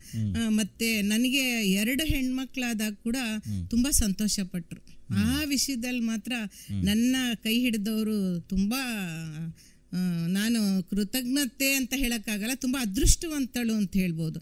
ನಾನು ಬೇಕಾದಷ್ಟು ಜನ ನೋಡಿದ್ದೆ. ಹೆಣ್ಮಕ್ಳು ಹೆತ್ತೋರ್ಗೆ ಎಷ್ಟು ಹಿಂಸೆ ಕೊಡ್ತಾರೆ ಗಂಡಂದ್ರು ಅಂತ. ಆದ್ರೆ ಅತ್ಯಂತ ಪ್ರೀತಿಯ ತಂದೆ ಆಗಿ ಅವರು ನನಗಿಂತ ಚೆನ್ನಾಗಿ ಬೆಳೆಸಿದ್ರು ಎರಡು ಹೆಣ್ಮಕ್ಳನ್ನ. ಅದಕ್ಕೆ ನಾನು ನಿಜವಾಗ್ಲೂ ಅದೃಷ್ಟವಂತೆ ಅಂತ ಹೇಳ್ಬೇಕು. ಸೊ ಆ ದಂಪತಿಗಳಿಬ್ಬರೂ ಕೂಡ ಸ್ತ್ರೀ ಸಂವೇದನೆಯನ್ನು ಉಳ್ಳವಂಥವ್ರೆ. ಸೊ ಭಾಳ ಸಂತೋಷ ಮೇಡಮ್. ಸಾಮಾನ್ಯವಾಗಿ ನಾವು ಗಮನಿಸಿದ ಹಾಗೆ ಎಲ್ಲರೂ ಕೂಡ ಗಂಭೀರ ಸಾಹಿತ್ಯದ ಕಡೆಗೆ ಹೆಚ್ಚು ಒಲವನ್ನು ವ್ಯಕ್ತಪಡಿಸ್ತಾರೆ. ತಾವು ಬರೆಯುವಂಥದ್ದೆಲ್ಲ ಸ್ವಲ್ಪ ಗಂಭೀರವಾಗಿ ಬರೆಯುವಂಥದ್ದು ಮತ್ತು ಆ ಗಂಭೀರ ಸಾಹಿತ್ಯಕ್ಕೆ ಒಂದು ವಿಮರ್ಶಾ ವಲಯ ಒಂದು ಒತ್ತು ಕೊಡುವಂಥದ್ದು ಅಂತಲೂ ನಾವು ಅನ್ಕೊಂಬಿಟ್ಟಿದ್ದೀವಿ ಹೆಚ್ಚು ಕಡಿಮೆ. ಆದರೆ ವಿಶೇಷವಾಗಿ ಹಾಸ್ಯ ಸಾಹಿತ್ಯವನ್ನು ತಾವು ಆಯ್ಕೆ ಮಾಡಿಕೊಂಡ್ರಿ. ಇದರ ಹಿನ್ನೆಲೆ ಹೋಗಬೇಕು ಅಂದರೆ ಮುಂಚೆ ನಾನು ಕೂಡ ಬಹಳ ಗಂಭೀರ ಸಾಹಿತ್ಯನೇ ಬರಿತಾ ಇದ್ದೆ. ನನ್ನ ಮೊದಲನೇ ಕೃತಿ ಒಂದು ಮಹಿಳೆ ಮತ್ತು ವಿವಾಹ ಅಂತ ಒಂದು ಸಣ್ಣದ ಒಂದು ಪುಸ್ತಕನ ಬರೆದಿದ್ದೆ. ಆಮೇಲೆ ನನಗೆ ಮಕ್ಕಳನ್ನ ದೊಡ್ಡವ್ರು ಮಾಡೋವಾಗ ಇದೆಲ್ಲ ಮಾಡ್ಕೊಂತ ನಾವು ಬೇರೆ ಬೇರೆ ಊರುಗಳಿಗೆ ನಮ್ಮ ಯಜಮಾನರು ವರ್ಗಾವಣೆ ಆಗ್ತಾ ಇದ್ದಿದ್ರಿಂದ ಒಂದು ಸ್ವಲ್ಪ ನನಗೆ ಸಾಹಿತ್ಯದಲ್ಲಿ ನಿರಂತರವಾಗಿ ತೊಡ್ಕೊಳ್ಳೋದು ಕಷ್ಟ ಆಯಿತು ಮಕ್ಕಳು ದೊಡ್ಡವರಾಗೋ ತನಕ. ಅವರು ಒಂದು ಹಂತ ತಲುಪಿದ ಮೇಲೆ ನಾನು ಪತ್ರಿಕೋದ್ಯಮ ತರಬೇತಿಯನ್ನ ಮಂಗಳೂರಿನಲ್ಲಿದ್ದಾಗ ಪಡ್ಕೊಳ್ಳೋಕ್ಕೆ ಸಾಧ್ಯ ಆಯಿತು. ಯಾಕಂದ್ರೆ ನಾನು ಇದಕ್ಕೆ ಮುಂಚೆ ಒಂದು ಸ್ಕೂಲಲ್ಲಿ ಟೀಚರ್ ಆಗಿದ್ದೆ ಬೆಂಗಳೂರಿನಲ್ಲಿ ಬಿ ಪಿ ಇಂಡಿಯನ್ ಅಂತ ಕನ್ನಡ ಟೀಚರ್ ಆಗಿದ್ದೆ ಮತ್ತೆ ಅವರಿಗೆ ಮಂಗಳೂರಿಗೆ ಟ್ರಾನ್ಸ್ಫರ್ ಆದ ತಕ್ಷಣ ನಾನು ಪತ್ರಿಕೋದ್ಯಮ ತರಬೇತಿ ಪಡ್ಕೊಂಡು ಆ ತರಬೇತಿ ಸಮಯದಲ್ಲಿ ಮದರ್ ತೆರೇಸಾ ಅವರೇ ನನಗೆ ಸರ್ಟಿಫಿಕೇಟ್ ಕೊಟ್ಟರು ನನಗೆ ಬಹಳ ಅದೃಷ್ಟ ಅನ್ಕೊಂಡೆ ಅವಾಗ ಅವ್ರ ಕೈಯಿಂದ ಒಂದು ಸರ್ಟಿಫಿಕೇಟ್ ಇಸ್ಕೊಳ್ಳೋದು. ಆಮೇಲೆ ಅಲ್ಲೇ ಒಂದು ಲೋಕಲ್ ನ್ಯೂಸ್ ಪೇಪರ್ಗಳಲ್ಲಿ ನಾನು ವರದಿಗಾರ್ತಿಯಾಗಿ ಮತ್ತು ಸಹ ಸಂಪಾದಕಿಯಾಗಿ ನಾನು ಕೆಲಸ ಮಾಡೋಕ್ಕೆ ಶುರು ಮಾಡಿದೆ. ಅವಾಗೆಲ್ಲ ತುಂಬ ಗಂಭೀರವಾಗಿ ನಾನು ಬರೀಬೇಕಾಗಿತ್ತು. ಯಾಕಂದರೆ ನಾನು ಕೆಲವು ಪತ್ರಿಕೆಗಳಲ್ಲಿ ಕ್ರೈಮ್ ನ್ಯೂಸ್ ರಿಪೋರ್ಟರು ಅಥವಾ ಸಹ ಸಂಪಾದಕಿಯಾಗಿದ್ದರಿಂದ ಬೆಳಗಾಗಿದ್ರೆ ಸಾವು ನೋವು ಆಕ್ಸಿಡೆಂಟ್ಸು. ಕೊಲೆ ಸುಲಿಗೆ ಇದೇ ಸುದ್ದಿಗಳು ಇರ್ತಾ ಇತ್ತು. ಮತ್ತು ನನಗೊಂದು ಅನುಭವ ಬೇಕಾಗಿತ್ತು ಪತ್ರಿಕೋದ್ಯಮದಲ್ಲಿ. ತೆರ್ಕೊಳ್ಬೇಕು ಅಂದರೆ ಎಲ್ಲ ಥರದ್ದನ್ನಲ್ಲೂ ನಾವು ಇದು ಮಾಡಬೇಕು. ಆಗ ನಾನು ಒಂದು ಅಂಕಣ ಬರಿತಾ ಇದ್ದೆ. ಆ ಪತ್ರಿಕೆಗಳಿಗೆ ಪತ್ರಿಕೆ ನಾನು ಕೆಲಸ ಮಾಡುವಾಗ ನಂದೇ ಒಂದು ಎಲ್ಲರೂ ವಿಶೇಷವಾದ ವಿಚಿತ್ರ ಸುದ್ದಿಗಳನ್ನು ಕಂಡಾಗ ಅದನ್ನು ಒಂದು ಹಾಸ್ಯದ ದಾಟಿಗೆ ತಿರುಗಿಸಿ ಅಂಕು ಡೊಂಕು ಅಂತ ಮುಂದೆ ಅದನ್ನು ಒಂದು ಪುಸ್ತಕ ಮಾಡಿ ತಗೊಂಬಂದೆ. ಅದು ಆವಾಗ ನನಗೆ ಒಂಥರ ಈ ಗಂಭೀರ ಸಾಹಿತ್ಯದಲ್ಲೂ ಕೂಡ ಒಂದು ಹಾಸ್ಯವನ್ನ ಲಘು ಹಾಸ್ಯವನ್ನ ನಾವು ಕಾಣ್ಬೋದು ಅಂತ ಅನ್ನಿಸ್ತು. ಆಮೇಲೆ ಈ ಕೊಲೆ ಸುಲಿಗೆ ಇದನ್ನ ಸುದ್ದಿಗಳ ಮಧ್ಯೆ ಓಡಾಡುವಾಗ ಅದನ್ನೇ ಬರೆಯುವಾಗ ಈ ಬದುಕಿನಲ್ಲಿ ಒಂಥರ ನಾನು ನಂಬಿಕೆನೇ ಬರಲ್ವೇನೋ ಅನ್ನೋ ನಂಬಿಕೆಯನ್ನು ಕಳ್ಕೊಳ್ತಾ ಇದ್ದೆ. ಯಾಕಂದರೆ ಎಲ್ಲೋಗಕ್ಕೂ ಭಯ. ನಮ್ಮ ಮಕ್ಕಳು ಕಾಲೇಜಿಂದ ಲೇಟಾಗಿ ಬಂದರೆ ಭಯ ಆಗೋದು. ಅದೇ ವಾತಾವರಣ ಅದೇ ಸುದ್ದಿಲಿದ್ದಾಗ ದಿನನಿತ್ಯದ ಜೀವನ ಕಷ್ಟ ಆಗೋದು. ಯಾವುದೇ ವ್ಯಕ್ತಿಗಳನ್ನು ಭೇಟಿ ಮಾಡಿದ್ರು ನಂಬಿಕೆನೇ ಬರ್ತಾ ಇರಲಿಲ್ಲ. ಏನೋ ಇರ್ಬೋದು ಅವರೊಳಗಡೆ ಅನ್ನೋ ಥರ. ಈ ಒಂದು ಪತ್ರಿಕಾ ದೃಷ್ಟಿಯಿಂದ ಹೋದಾಗ ನೀವು ಸಂಶೋಧನೆ ಒಂಥರ ಪತ್ರಿಕೋದ್ಯಮದಲ್ಲಿದ್ದಾಗ ಬೇರೆ ಒಂದು ವ್ಯೂನಲ್ಲಿ ನೋಡಕ್ಕೆ ಹೋದಾಗ ಇದು ಇನ್ವೆಸ್ಟಿಗೇಷನ್ ರಿಪೋರ್ಟ್ ಅಂತ ಹೇಳ್ತಾರಲ್ಲ ಆ ಥರ ಆದಾಗ ತುಂಬ ಕಷ್ಟ ಅನ್ನಿಸ್ತು ನನ್ನ ಜಾಯಮಾನಕ್ಕೆ ಇದು ಹೊಂದ್ಕೊಳ್ಳಲ್ಲ ಅನ್ನಿಸ್ತು ಕಡೆಗೆ ನಾನು ನಮ್ಮ ಮನೆಯವರಿಗೆ ಮತ್ತೆ ವರ್ಗಾವಣೆ ಆಯಿತು ಬೆಂಗಳೂರಿಗೆ. ಆವಾಗ ಬೇರೆಯವ್ರ ಭಾಷಣ ಬರೆದು ಬರೆದು ಸಾಕಾಯ್ತಪ್ಪ. ನನ್ನ ಭಾವನೆಗಳಿಗೆ ಬರೆಯೋಕ್ಕೆ ಶುರು ಮಾಡೋಣ ಅಂದ್ಬಿಟ್ಟು ನಾನು ಆವಾಗ ನನ್ನ ಕೃತಿಗಳನ್ನು ನನ್ನ ಬರಹಗಳಿಗೆ ಒಂದು ಪುಸ್ತಕ ರೂಪ ಕೊಟ್ಟು ಪ್ರಕಟಣೆಯನ್ನು ಮಾಡೋಕ್ಕೆ ಪ್ರಾರಂಭ ಮಾಡಿದೆ. ಈಗ ತಾವು ಹೇಳಿದ್ರಿ ಅಂಕಣ ಬರಹಗಳನ್ನು ತಾವು ಬರಿತಾ ಇದ್ರಿ ಅಂತೇಳಿ ಅಂಕಣ ಬರಹಕ್ಕೂ ಮತ್ತು ಬೇರೆ ರೀತಿಯ ಪ್ರಬಂಧ ಬರಹಗಳಿಗೂ ಯಾವ ರೀತಿಯಾದಂಥ ವ್ಯತ್ಯಾಸವನ್ನು ಕಾಣ್ತೀರಿ ನೀವು? ಅಂದ್ರೆ ಇವಾಗ ನೀವು ಯಾವುದೋ ಮಂಗ ಒಂದು ರಾಜ್ಯೋತ್ಸವದಲ್ಲಿ ಇದರಲ್ಲಿ ಹಾರಿಸಕ್ಕೆ ಎಲ್ಲ ರೆಡಿ ಮಾಡ್ಕೊಂಡಿರ್ತಾರೆ. ಇದೇ ಹೋಗ್ಬಿಟ್ಟು ಬಾವುಟ ಹಾರಿಸ್ಬಿಡ್ತು ಅಂತ ಬಂತು. ಇದಕ್ಕೊಂದು ತಮಾಷೆಯಾಗಿ ಇದು ಮಾಡಿಕೊಂಡು ಹಿನ್ನೆಲೆಯಲ್ಲಿ ಕೊಟ್ಕೊಂಡು ಟ್ವಿಸ್ಟ್ ಕೊಟ್ಕೊಂಡು ತಮಾಷೆ ಓದಿದ್ರೆ ಒಂದು ಗಳಿಗೆಗೆ ನಗು ಬರುತ್ತೆ ಅವರಿಗೆ. ಇದು ಇದೊಂಥರ ವಕ್ರೋಕ್ತಿ ಅಂತಾರಲ್ಲ ಆ ಥರ ಇದು. ಅವಾಗಲೇ ನಾನು ತುಂಬ ವಕ್ರೋಕ್ತಿಗಳನ್ನು ಬರೆಯೋಕ್ಕೆ ಶುರು ಮಾಡಿದೆ. ಕೆಲವೊಂದು ಹೇಳಬಹುದಾದ ಉದಾಹರಣೆ ಅಂದರೆ ಹೇಳ್ಬೋದು ಒಂದೆರಡು ವಕ್ರೋಕ್ತಿಗಳನ್ನು. ಹೀಗೆ ಬರೆದಂಥ ವಕ್ರೋಕ್ತಿಗಳಂದರೆ ಈಗ ದಂಪತಿ ಅಂತ ಒಂದು ಅನರ್ಥ ಕೋಶ ಅಂತ ಮಾಡಿದೆ. ಈ ದಮ್ ಎಳೆಯುತ್ತಾ ಪತ್ನಿಯನ್ನು ಮರೆತವನು ದಂಪತಿ ಅಂತ. ಸರದಾರ ದಾರವಿಲ್ಲದೆ ಸರ ಪೋಣಿಸುವವನು ಅಂತ. ಆಮೇಲೆ ಭಸ್ಮಾಸುರ ಸಿಗರೇಟು ಕಂಪನಿ ಮಾಲೀಕ ಇವೆಲ್ಲ ಇದು ಮೌಲ್ಯ ಇದೆ ಅಂತ ಹೇಳಕ್ಕಾಗಲ್ಲ ಈ ಸಾಹಿತ್ಯಕ್ಕೆ. ಒಂದು ತಮಾಷೆಗೆ ನಗೋದಕ್ಕೆ ಒಂದು ವಕ್ರೋಕ್ತಿಗಳನ್ನ ಉಪಯೋಗಿಸ್ಕೊಳ್ಬೋದು ಅಂತ ಅನ್ನಿಸ್ತು. ಅಷ್ಟೇ. ಅಷ್ಟೇ ಆ, ಈಗ ಯಾವುದೇ ಒಂದು ಕವಿಗೋಷ್ಠಿಗೆ ಹೋಗಿ ನಮ್ಮನ್ನ ನಾವು ಸಮಾಸಿದೇನಾದ್ರು ಹೇಳಿದ್ರೆ ಒಂದು ಸಣ್ಣ ಚುಟ್ಕ ಹೇಳಿದ್ರೆ ಯಾರು ಅದನ್ನ ನಗ್ಬಿಡ್ತಾರೆ ಮರ್ತ್ ಬಿಡ್ತಾರೆ ಆ ಟೈಮಿಗೆ. ಗಂಭೀರವಾಗಿ ಪರಿಗಣಿಸೋದಿಲ್ಲ. ಹೌದು. ಹಾಗಾಗಿ ಈ ಚುಟುಕು ಸಾಹಿತ್ಯನೂ ಹುಟ್ಕೊಂತು ಆಮೇಲೆ ಆಮೇಲೆಲ್ಲ. ಇದು ಇದಕ್ಕೋಸ್ಕರನೇ. ಬೇಕಾದಷ್ಟು ದಿನಕರ ದೇಸಾಯಿ ಅವರಿರ್ಬೋದು ಈಗ ದುಂಡಿರಾಜ್ ಇರ್ಬೋದು. ಈಗ ಎಷ್ಟು ಜನಪ್ರಿಯರಾಗಿದ್ದಾರೆ. ಜನ ಬಹಳ ಇಷ್ಟಪಟ್ಟು ಓದ್ತಾರೆ ಅದನ್ನ. ಯಾವಾಗ್ಲೂ ಗಂಭೀರವಾಗೇ ಇರಕ್ಕಾಗಲ್ಲ ಜೀವನದಲ್ಲಿ. ನಾವು ತಮಾಷೆಯಾಗಿರ್ಬೇಕು ಕಷ್ಟ ನಮ್ಮ ನೋವುಗಳನ್ನು ಮರೆಯಿಸೋದು ಹಾಸ್ಯನೇ ಅಂತ ಹೇಳ್ತೀನಿ. ಹಾಗಾಗಿ ನನ್ನ ಕೃತಿಗಳನ್ನು ಬರೆಯುವಾಗ ಅದಕ್ಕೂ ಒಂಥರ ಅಟ್ರಾಕ್ಟಿವ್ ಆಗಿರುವಂತಹ ಆಕರ್ಷಕವಾದ ಒಂದು ಹೆಸರುಗಳನ್ನು ಕೊಡಬೇಕು ಅಂತ ಶುರು ಮಾಡಿದೆ. ನಿಮ್ಮ ಪುಸ್ತಕಗಳನ್ನು ನೋಡ್ತಾ ಇದ್ರೆ ಅದರ ಶೀರ್ಷಿಕೆಗಳನ್ನು ನೋಡ್ತಾ ಇದ್ರೆ ಬಹಳ ಆಕರ್ಷಕವಾಗಿರುವಂಥ ಶೀರ್ಷಿಕೆಗಳನ್ನು ಕೊಟ್ಟಿದ್ದೀರಿ. ಅದ್ರ ಬಗ್ಗೆ ಮಾತಾಡೋಣ. ನಮಸ್ಕಾರ ಸ್ನೇಹಿತರೆ, ಸಮಯ ಹನ್ನೊಂದು ಗಂಟೆ ಮೂವತ್ತ ಮೂರು ನಿಮಿಷ ಆಗಿದೆ. ಬೆಂಗಳೂರು ಎಫ್ ಎಂ ರೈನ್ಬೋ ಹಾಗೂ ಆಕಾಶವಾಣಿ ಮುಖ್ಯ ವಾಹಿನಿಯಲ್ಲಿ ವಿಶೇಷವಾದಂತಹ ಕಾರ್ಯಕ್ರಮ ಕೇಳ್ತಾ ಇದ್ದೀರಾ? ಲೇಖಕಿ ಹಾಗೆ ಬರಹಗಾರತಿ ನಾಗರತ್ನ ಚಂದ್ರಶೇಖರ್ ಅವರೊಂದಿಗಿನ ವಿಶೇಷ ಮಾತುಕತೆ. ನಮ್ಮ ಸ್ನೇಹಿತರು ಕಳಿಸಿದ್ದಾರೆ ಕನಕ್ಪುರದವರು ಇವರು. ನಮ್ಮ ಕನಕ್ಪುರ ಮಹಿಳಾ ಸಾಧಕರಿಗೆ ಅಭಿನಂದನೆಗಳು ಅಂತ ಹೇಳಿ ಸಂದೇಶವನ್ನು ಕಳಿಸಿದ್ದಾರೆ ಮೂರ್ತಿಯವರು ಕಲ್ಲಹಳ್ಳಿಯಿಂದ ಅದಾದ ನಂತರ ಅಶೋಕ್ ಚಿಂಚೋಳಿಯವರು ಆ, ಪ್ರತಿಕ್ರಿಯೆ ನೀಡಿದ್ದಾರೆ. ಇಂಥ ಕಾರ್ಯಕ್ರಮ ಹಮ್ಮಿಕೊಂಡಿರುವಂಥದ್ದು ಒಳ್ಳೆಯ ಬೆಳವಣಿಗೆ. ಸುಮಾರು ಕೇಳಗರಿಗೆ ಇದು ಪ್ರೇರಣೆ ಆಗಬಹುದು ಅಂತ ಹೇಳಿ ಹೇಳ್ತಾ ಇದ್ದಾರೆ. ಮತ್ತಷ್ಟು ಸಂದೇಶಗಳು ಮತ್ತೆ ಓದೋಣ. ನಮ್ಮ ಮಾತುಕತೆ ಮುಂದುವರಿಯುತ್ತೆ. ನಾಗರತ್ನ ಚಂದ್ರಶೇಖರ್ ಅವರ ತಮ್ಮ ಶೀರ್ಷಿಕೆಗಳ ಬಗ್ಗೆ ನಾವು ಪ್ರಸ್ತಾಪ ಮಾಡಿದ್ವಿ. ಹೌದು ಸರ್. ತುಂಬ ವಿಶೇಷವಾದಂತಹ ಅರ್ಥಗರ್ಭಿತವಾದಂಥ ಮತ್ತು ತಕ್ಷಣಕ್ಕೆ ನಮ್ಮ ಮನಸ್ಸನ್ನು ಸೆಳೆಯುವಂತಹ ಶೀರ್ಷಿಕೆಗಳನ್ನು ತಾವು ಕೊಟ್ಟಿದ್ದೀರಿ. ಅದರಲ್ಲಿ ಕಲಸು ಮೇಲೋಗರ ಅನ್ನುವಂಥದ್ದು. ಇದು ಲಲಿತ ಪ್ರಬಂಧಗಳ ಸಂಕಲನ. ಹೌದು. ಹಾಗೆಯೇ ದ್ರೌಪದಿಯ ತಾಪತ್ರಯಗಳು ಅಂತ ಹೇಳಿ ಕೊಟ್ಟಿದ್ದೀರಿ ವಿಶೇಷವಾದಂಥ ಶೀರ್ಷಿಕೆಗಳನ್ನು ತಾವು ಕೊಟ್ಟಿದ್ದೀರಿ. ಅದರ ಹಿನ್ನೆಲೆ ಏನು ಮೇಡಮ್? ನಿಜ ಹೇಳಬೇಕು ಅಂದರೆ ಇವಾಗ ನೀವು ಯಾವುದೋ ಒಂದು ಅಂಗಡಿಗೆ ಹೋಗ್ತೀರಾ ಅಥವಾ ಹೋಟೆಲ್ಗೆ ಹೋಗ್ತೀರಾ ಅನ್ಕೊಳ್ಳಿ. ಸುಮ್ಮನೆ ಮಾಡಿದ ಅಡುಗೆನ ಅವರು ಹಾಗೆ ಕೊಟ್ಬಿಟ್ರೆ ನಿಮಗೆ ತಿನ್ನಕ್ಕೆ ಅಷ್ಟು ಆಸಕ್ತಿ ಬರಲ್ಲ ಅಥವಾ ಇಷ್ಟ ಆಗಲ್ಲ ತಗೊಳ್ಬೇಕು ಅಂತ. ಅದಕ್ಕೊಂದು ಒಳ್ಳೆ ಒಂದು ಪ್ರೆಸೆಂಟೇಷನ್ ಅಂತಾರೆ. ಅದನ್ನ ಚೆನ್ನಾಗಿ ಅಲಂಕಾರ ಮಾಡಿ ಪ್ಲೇಟ್ನಲ್ಲಿ ಇಟ್ಟು ತರ್ತಾ ಇದ್ರೆ ನಿಮ್ಗೆ ಆಗ್ಲೇ ರಸ ಉತ್ಪತ್ತಿಯಾಗಿ ತಿನ್ಬೇಕು ಅನ್ನೋ ಆಸಕ್ತಿ ಬಂದ್ಬಿಡುತ್ತೆ. ಇದು ಸಹಜ. ಇದು ಎಲ್ಲ ವಿಷಯದಲ್ಲೂ ಅಷ್ಟೇ. ಒಂದು ಉಡುಪಿನಲ್ಲಿ ಉಟ್ಕೊಳ್ಳೋವಾಗ ಆಗಿರ್ಬೋದು ಒಂದು ಅಡುಗೆ ಮಾಡೋದ್ರಲ್ಲಾಗಿರ್ಬೋದು ಒಂದು ಮನೆ ಅಲಂಕಾರದಲ್ಲಾಗಿರ್ಬೋದು ಎಲ್ಲನೂ. ಆಗಿದ್ಮೇಲೆ ನಾವು ಬರೆದಿರೋ ಬರಹಗಳನ್ನು ಒಂದು ಶೀರ್ಷಿಕೆಯಿಂದ ಯಾಕೆ ನಾವು ಆಸಕ್ತಿ ಹುಟ್ಟಿಸ್ಬಾರ್ದು? ಓದೋರೇ ಕಡಿಮೆ ಆಗ್ತಿರೋ ಈ ಕಾಲದಲ್ಲಿ ನಾವು ಕೊನೆ ಪಕ್ಷ ನಮ್ಮ ಶೀರ್ಷಿಕೆ ನೋಡಿ ಯಾರು ಕೈಗೆತ್ಕೊಂಡು ಪುಟಗಳನ್ನು ತಿರುಗಿಸಿದ್ರೆ ಒಳಗಡೆ ಏನಿದೇನೋ ಆಸಕ್ತಿನಾರು ಹುಟ್ಟಿಸ್ಬೋದಲ್ವಾ ಅನ್ನಿಸ್ತು. ಯಾಕಂದರೆ ನಾನೇನು ತುಂಬ ಹೇಳ್ಕೊಳ್ಳೋಂಥ ದೊಡ್ಡ ಸಾಹಿತಿನೂ ಅಲ್ಲ. ನನ್ನ ಹೆಸರು ಕೇಳಿದ ತಕ್ಷಣ ಜನ ತೊಗೊಂಬಿಡ್ತಾರೆ ಓದ್ಬಿಡ್ತಾರೆ ಅನ್ನೋದು. ನನಗೇನು ನಂಬಿಕೆ ಇರಲಿಲ್ಲ. ಹಂಗಾಗಿ ನನ್ನ ಶೀರ್ಷಿಕೆಗಳನ್ನು ನಾನು ಬಹಳ ಆಕರ್ಷವಾಗಿರಬೇಕು ಅಂತ ಯೋಚನೆ ಮಾಡಿ ಮಾಡಿ ಇಟ್ಟೆ. ಈ ಕಲಸು ಮೇಲೋಗರ ಅಂತ ಒಂದು ಶೀರ್ಷಿಕೆ ಕೊಡೋಕ್ಕೆ ಕಾರಣ ನಾನೊಂದು ನಾಟಕ ಬರೆದಿದ್ದೆ ಅದರಲ್ಲಿ ನಾಟಕದಲ್ಲಿ ಕಲಸು ಮೇಲೋಗರ ಅನ್ನೋ ಒಂದು ಮಾತನ್ನ ಹಾಕಿದೆ. ಅದು ಏನಂದರೆ ನಾವು ಯಾವುದಾದ್ರು ವಿಶೇಷ ಸಂದರ್ಭದಲ್ಲಿ ಮನೆ ತುಂಬ ಜನ ಬರ್ತಾರೆ ಅಂದರೆ ಬೇರೆ ಬೇರೆ ಥರ ರಸಪಾಕಗಳನ್ನು ಇಳಿಸಿರ್ತೀವಿ. ಎಲ್ಲ ಆದಮೇಲೆ ಎಲ್ಲ ಹೋದ್ಮೇಲೆ ಮನೆ ಮ- ಮಹಿಳೆಗೆ ಏನಾಗುತ್ತೆ ಒಂದು ಎರಡು ಸೌಟು ಎರಡು ಚಮಚ ಬೇರೆ ಬೇರೆದೆಲ್ಲ ಉಳ್ದೋಗುತ್ತೆ. ಅದನ್ನೆಲ್ಲ ಸಂಗ್ರಹಿಸಿಡೋದು ಬಹಳ ಕಷ್ಟ ಆಗುತ್ತೆ. ಅವಾಗ ಅದನ್ನೆಲ್ಲ ನಾನೇನು ಮಾಡಿದೆ ಒಂದು ಬೌಲ್ಗೆ ಹಾಕಿಟ್ಬಿಡೋದು. ಎಲ್ಲ ಒಂದು ಚಮಚ ಅರ್ಧ ಚಮಚ ಉಳ್ದಿದ್ದೆಲ್ಲ ಹುಳಿ ಸಾರು ಬೇರೆ ಎಲ್ಲ ತರಕಾರಿಗಳು ಪಲ್ಯಗಳು ಇದೆಲ್ಲನೂ. ಮಾರನೇ ದಿವಸ ಅದನ್ನ ಎಲ್ಲ ಸೇರಿಸಿ ಒಂದು ಬೌಲ್ನಲ್ಲಿ ಬೆಗ್ಗರ್ ಬೌಲ್ ಅಂತ ಏನು ಹೇಳ್ತೀನಿ ನೋಡಿ. ಈ ಬೆ- ಭಿಕ್ಷೆ ಬೇಡವ್ರು ಹಂಗೆ ತಾನೇ ಎಲ್ಲ ಒಂದು ಮನೆಯಿಂದ ಹಾಕಿಸ್ಕೊಂಡು ಹೋಗ್ತಾರೆ. ಎಷ್ಟು ರುಚಿಯಾಗಿರ್ಬೋದು ಅದು ನಮಗೆ ಗೊತ್ತಿಲ್ಲ. ಹಾಗೆ ನಾನು ಒಂದು ತಮಾಷೆಯಾಗಿ ಒಂದು ನಾಟಕವನ್ನ ಬರೆದೆ. ಅದನ್ನು ಓದ್ಬಿಟ್ಟು ನಮ್ಮ ಸಮ, ಏ ನಾಗರತ್ನ ನಿಮ್ಮ ಮನೆಗೆ ಸೋಮವಾರ ನಾವು ಯಾರು ಬರಲ್ಲಪ್ಪ. ನಿಮ್ಮ ಮನೆಗೆ ಬಂದ್ರೆ ಈ ಕಲಸು ಮೇಲೆ ಹೋಗ್ರ ಕೊಟ್ಬಿಡ್ತೀಯ ನಮಗೆ? ಅಂತ ತಮಾಷೆ ಮಾಡ್ತಾ ಇದ್ರು. ಅಲ್ಲ, ನಿಜ ಜೀವನದಲ್ಲಿ ನಾವು ಕಲಸು ಮೇಲೋಗ್ರ ಅನ್ನೋ ಪದನ ತಗೊಳ್ಳಿ ನೀವು.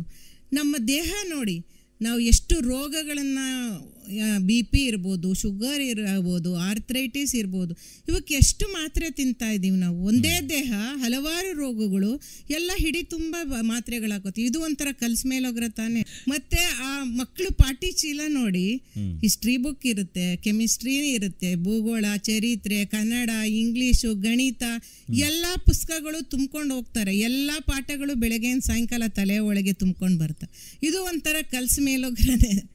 ಹಾಗೆ ಈಗಿನ ಕಾಲಕ್ಕೆ ಬಂದರೆ ಒಂದೇ ಮನೆಯಲ್ಲಿ ನೋಡಿ ಬೇರೆ ಬೇರೆ ಜಾತಿಯಿಂದ ಮದುವೆ ಆದಂತಹ ಮಕ್ಕಳುಗಳಿದ್ದಾರೆ ಒಂದೊಂದು ನಾಲ್ಕೈದು ಜನ ಮಕ್ಕಳಿದ್ರೆ ಬೇರೆ ಬೇರೆ ಜಾತಿಯಿಂದ ಮದುವೆ ಆದಾಗ ಒಂದೇ ಮನೇಲಿ ನಮ್ಮ ಮನೇಲಿ ಕೂಡ ನಾನು ನೋಡಬೇಕು ಅಂದರೆ ನಮ್ಮ ಮನೇಲಿ ಯಾವಾಗಲೂ ಹೇಳ್ತಾ ಇರ್ತೀನಿ. ನನ್ನ ಮಕ್ಕಳಿಬ್ಬರು ಒಬ್ಬರು ಆಂಧ್ರದವ್ರನ್ನ ಒಬ್ಬರು ತಮಿಳ್ನಾಡನ ಅವ್ರನ್ನ ಮದುವೆ ಆಗಿದ್ದು ನನ್ನಿಬ್ಬರು ಹೆಣ್ಮಕ್ಳು.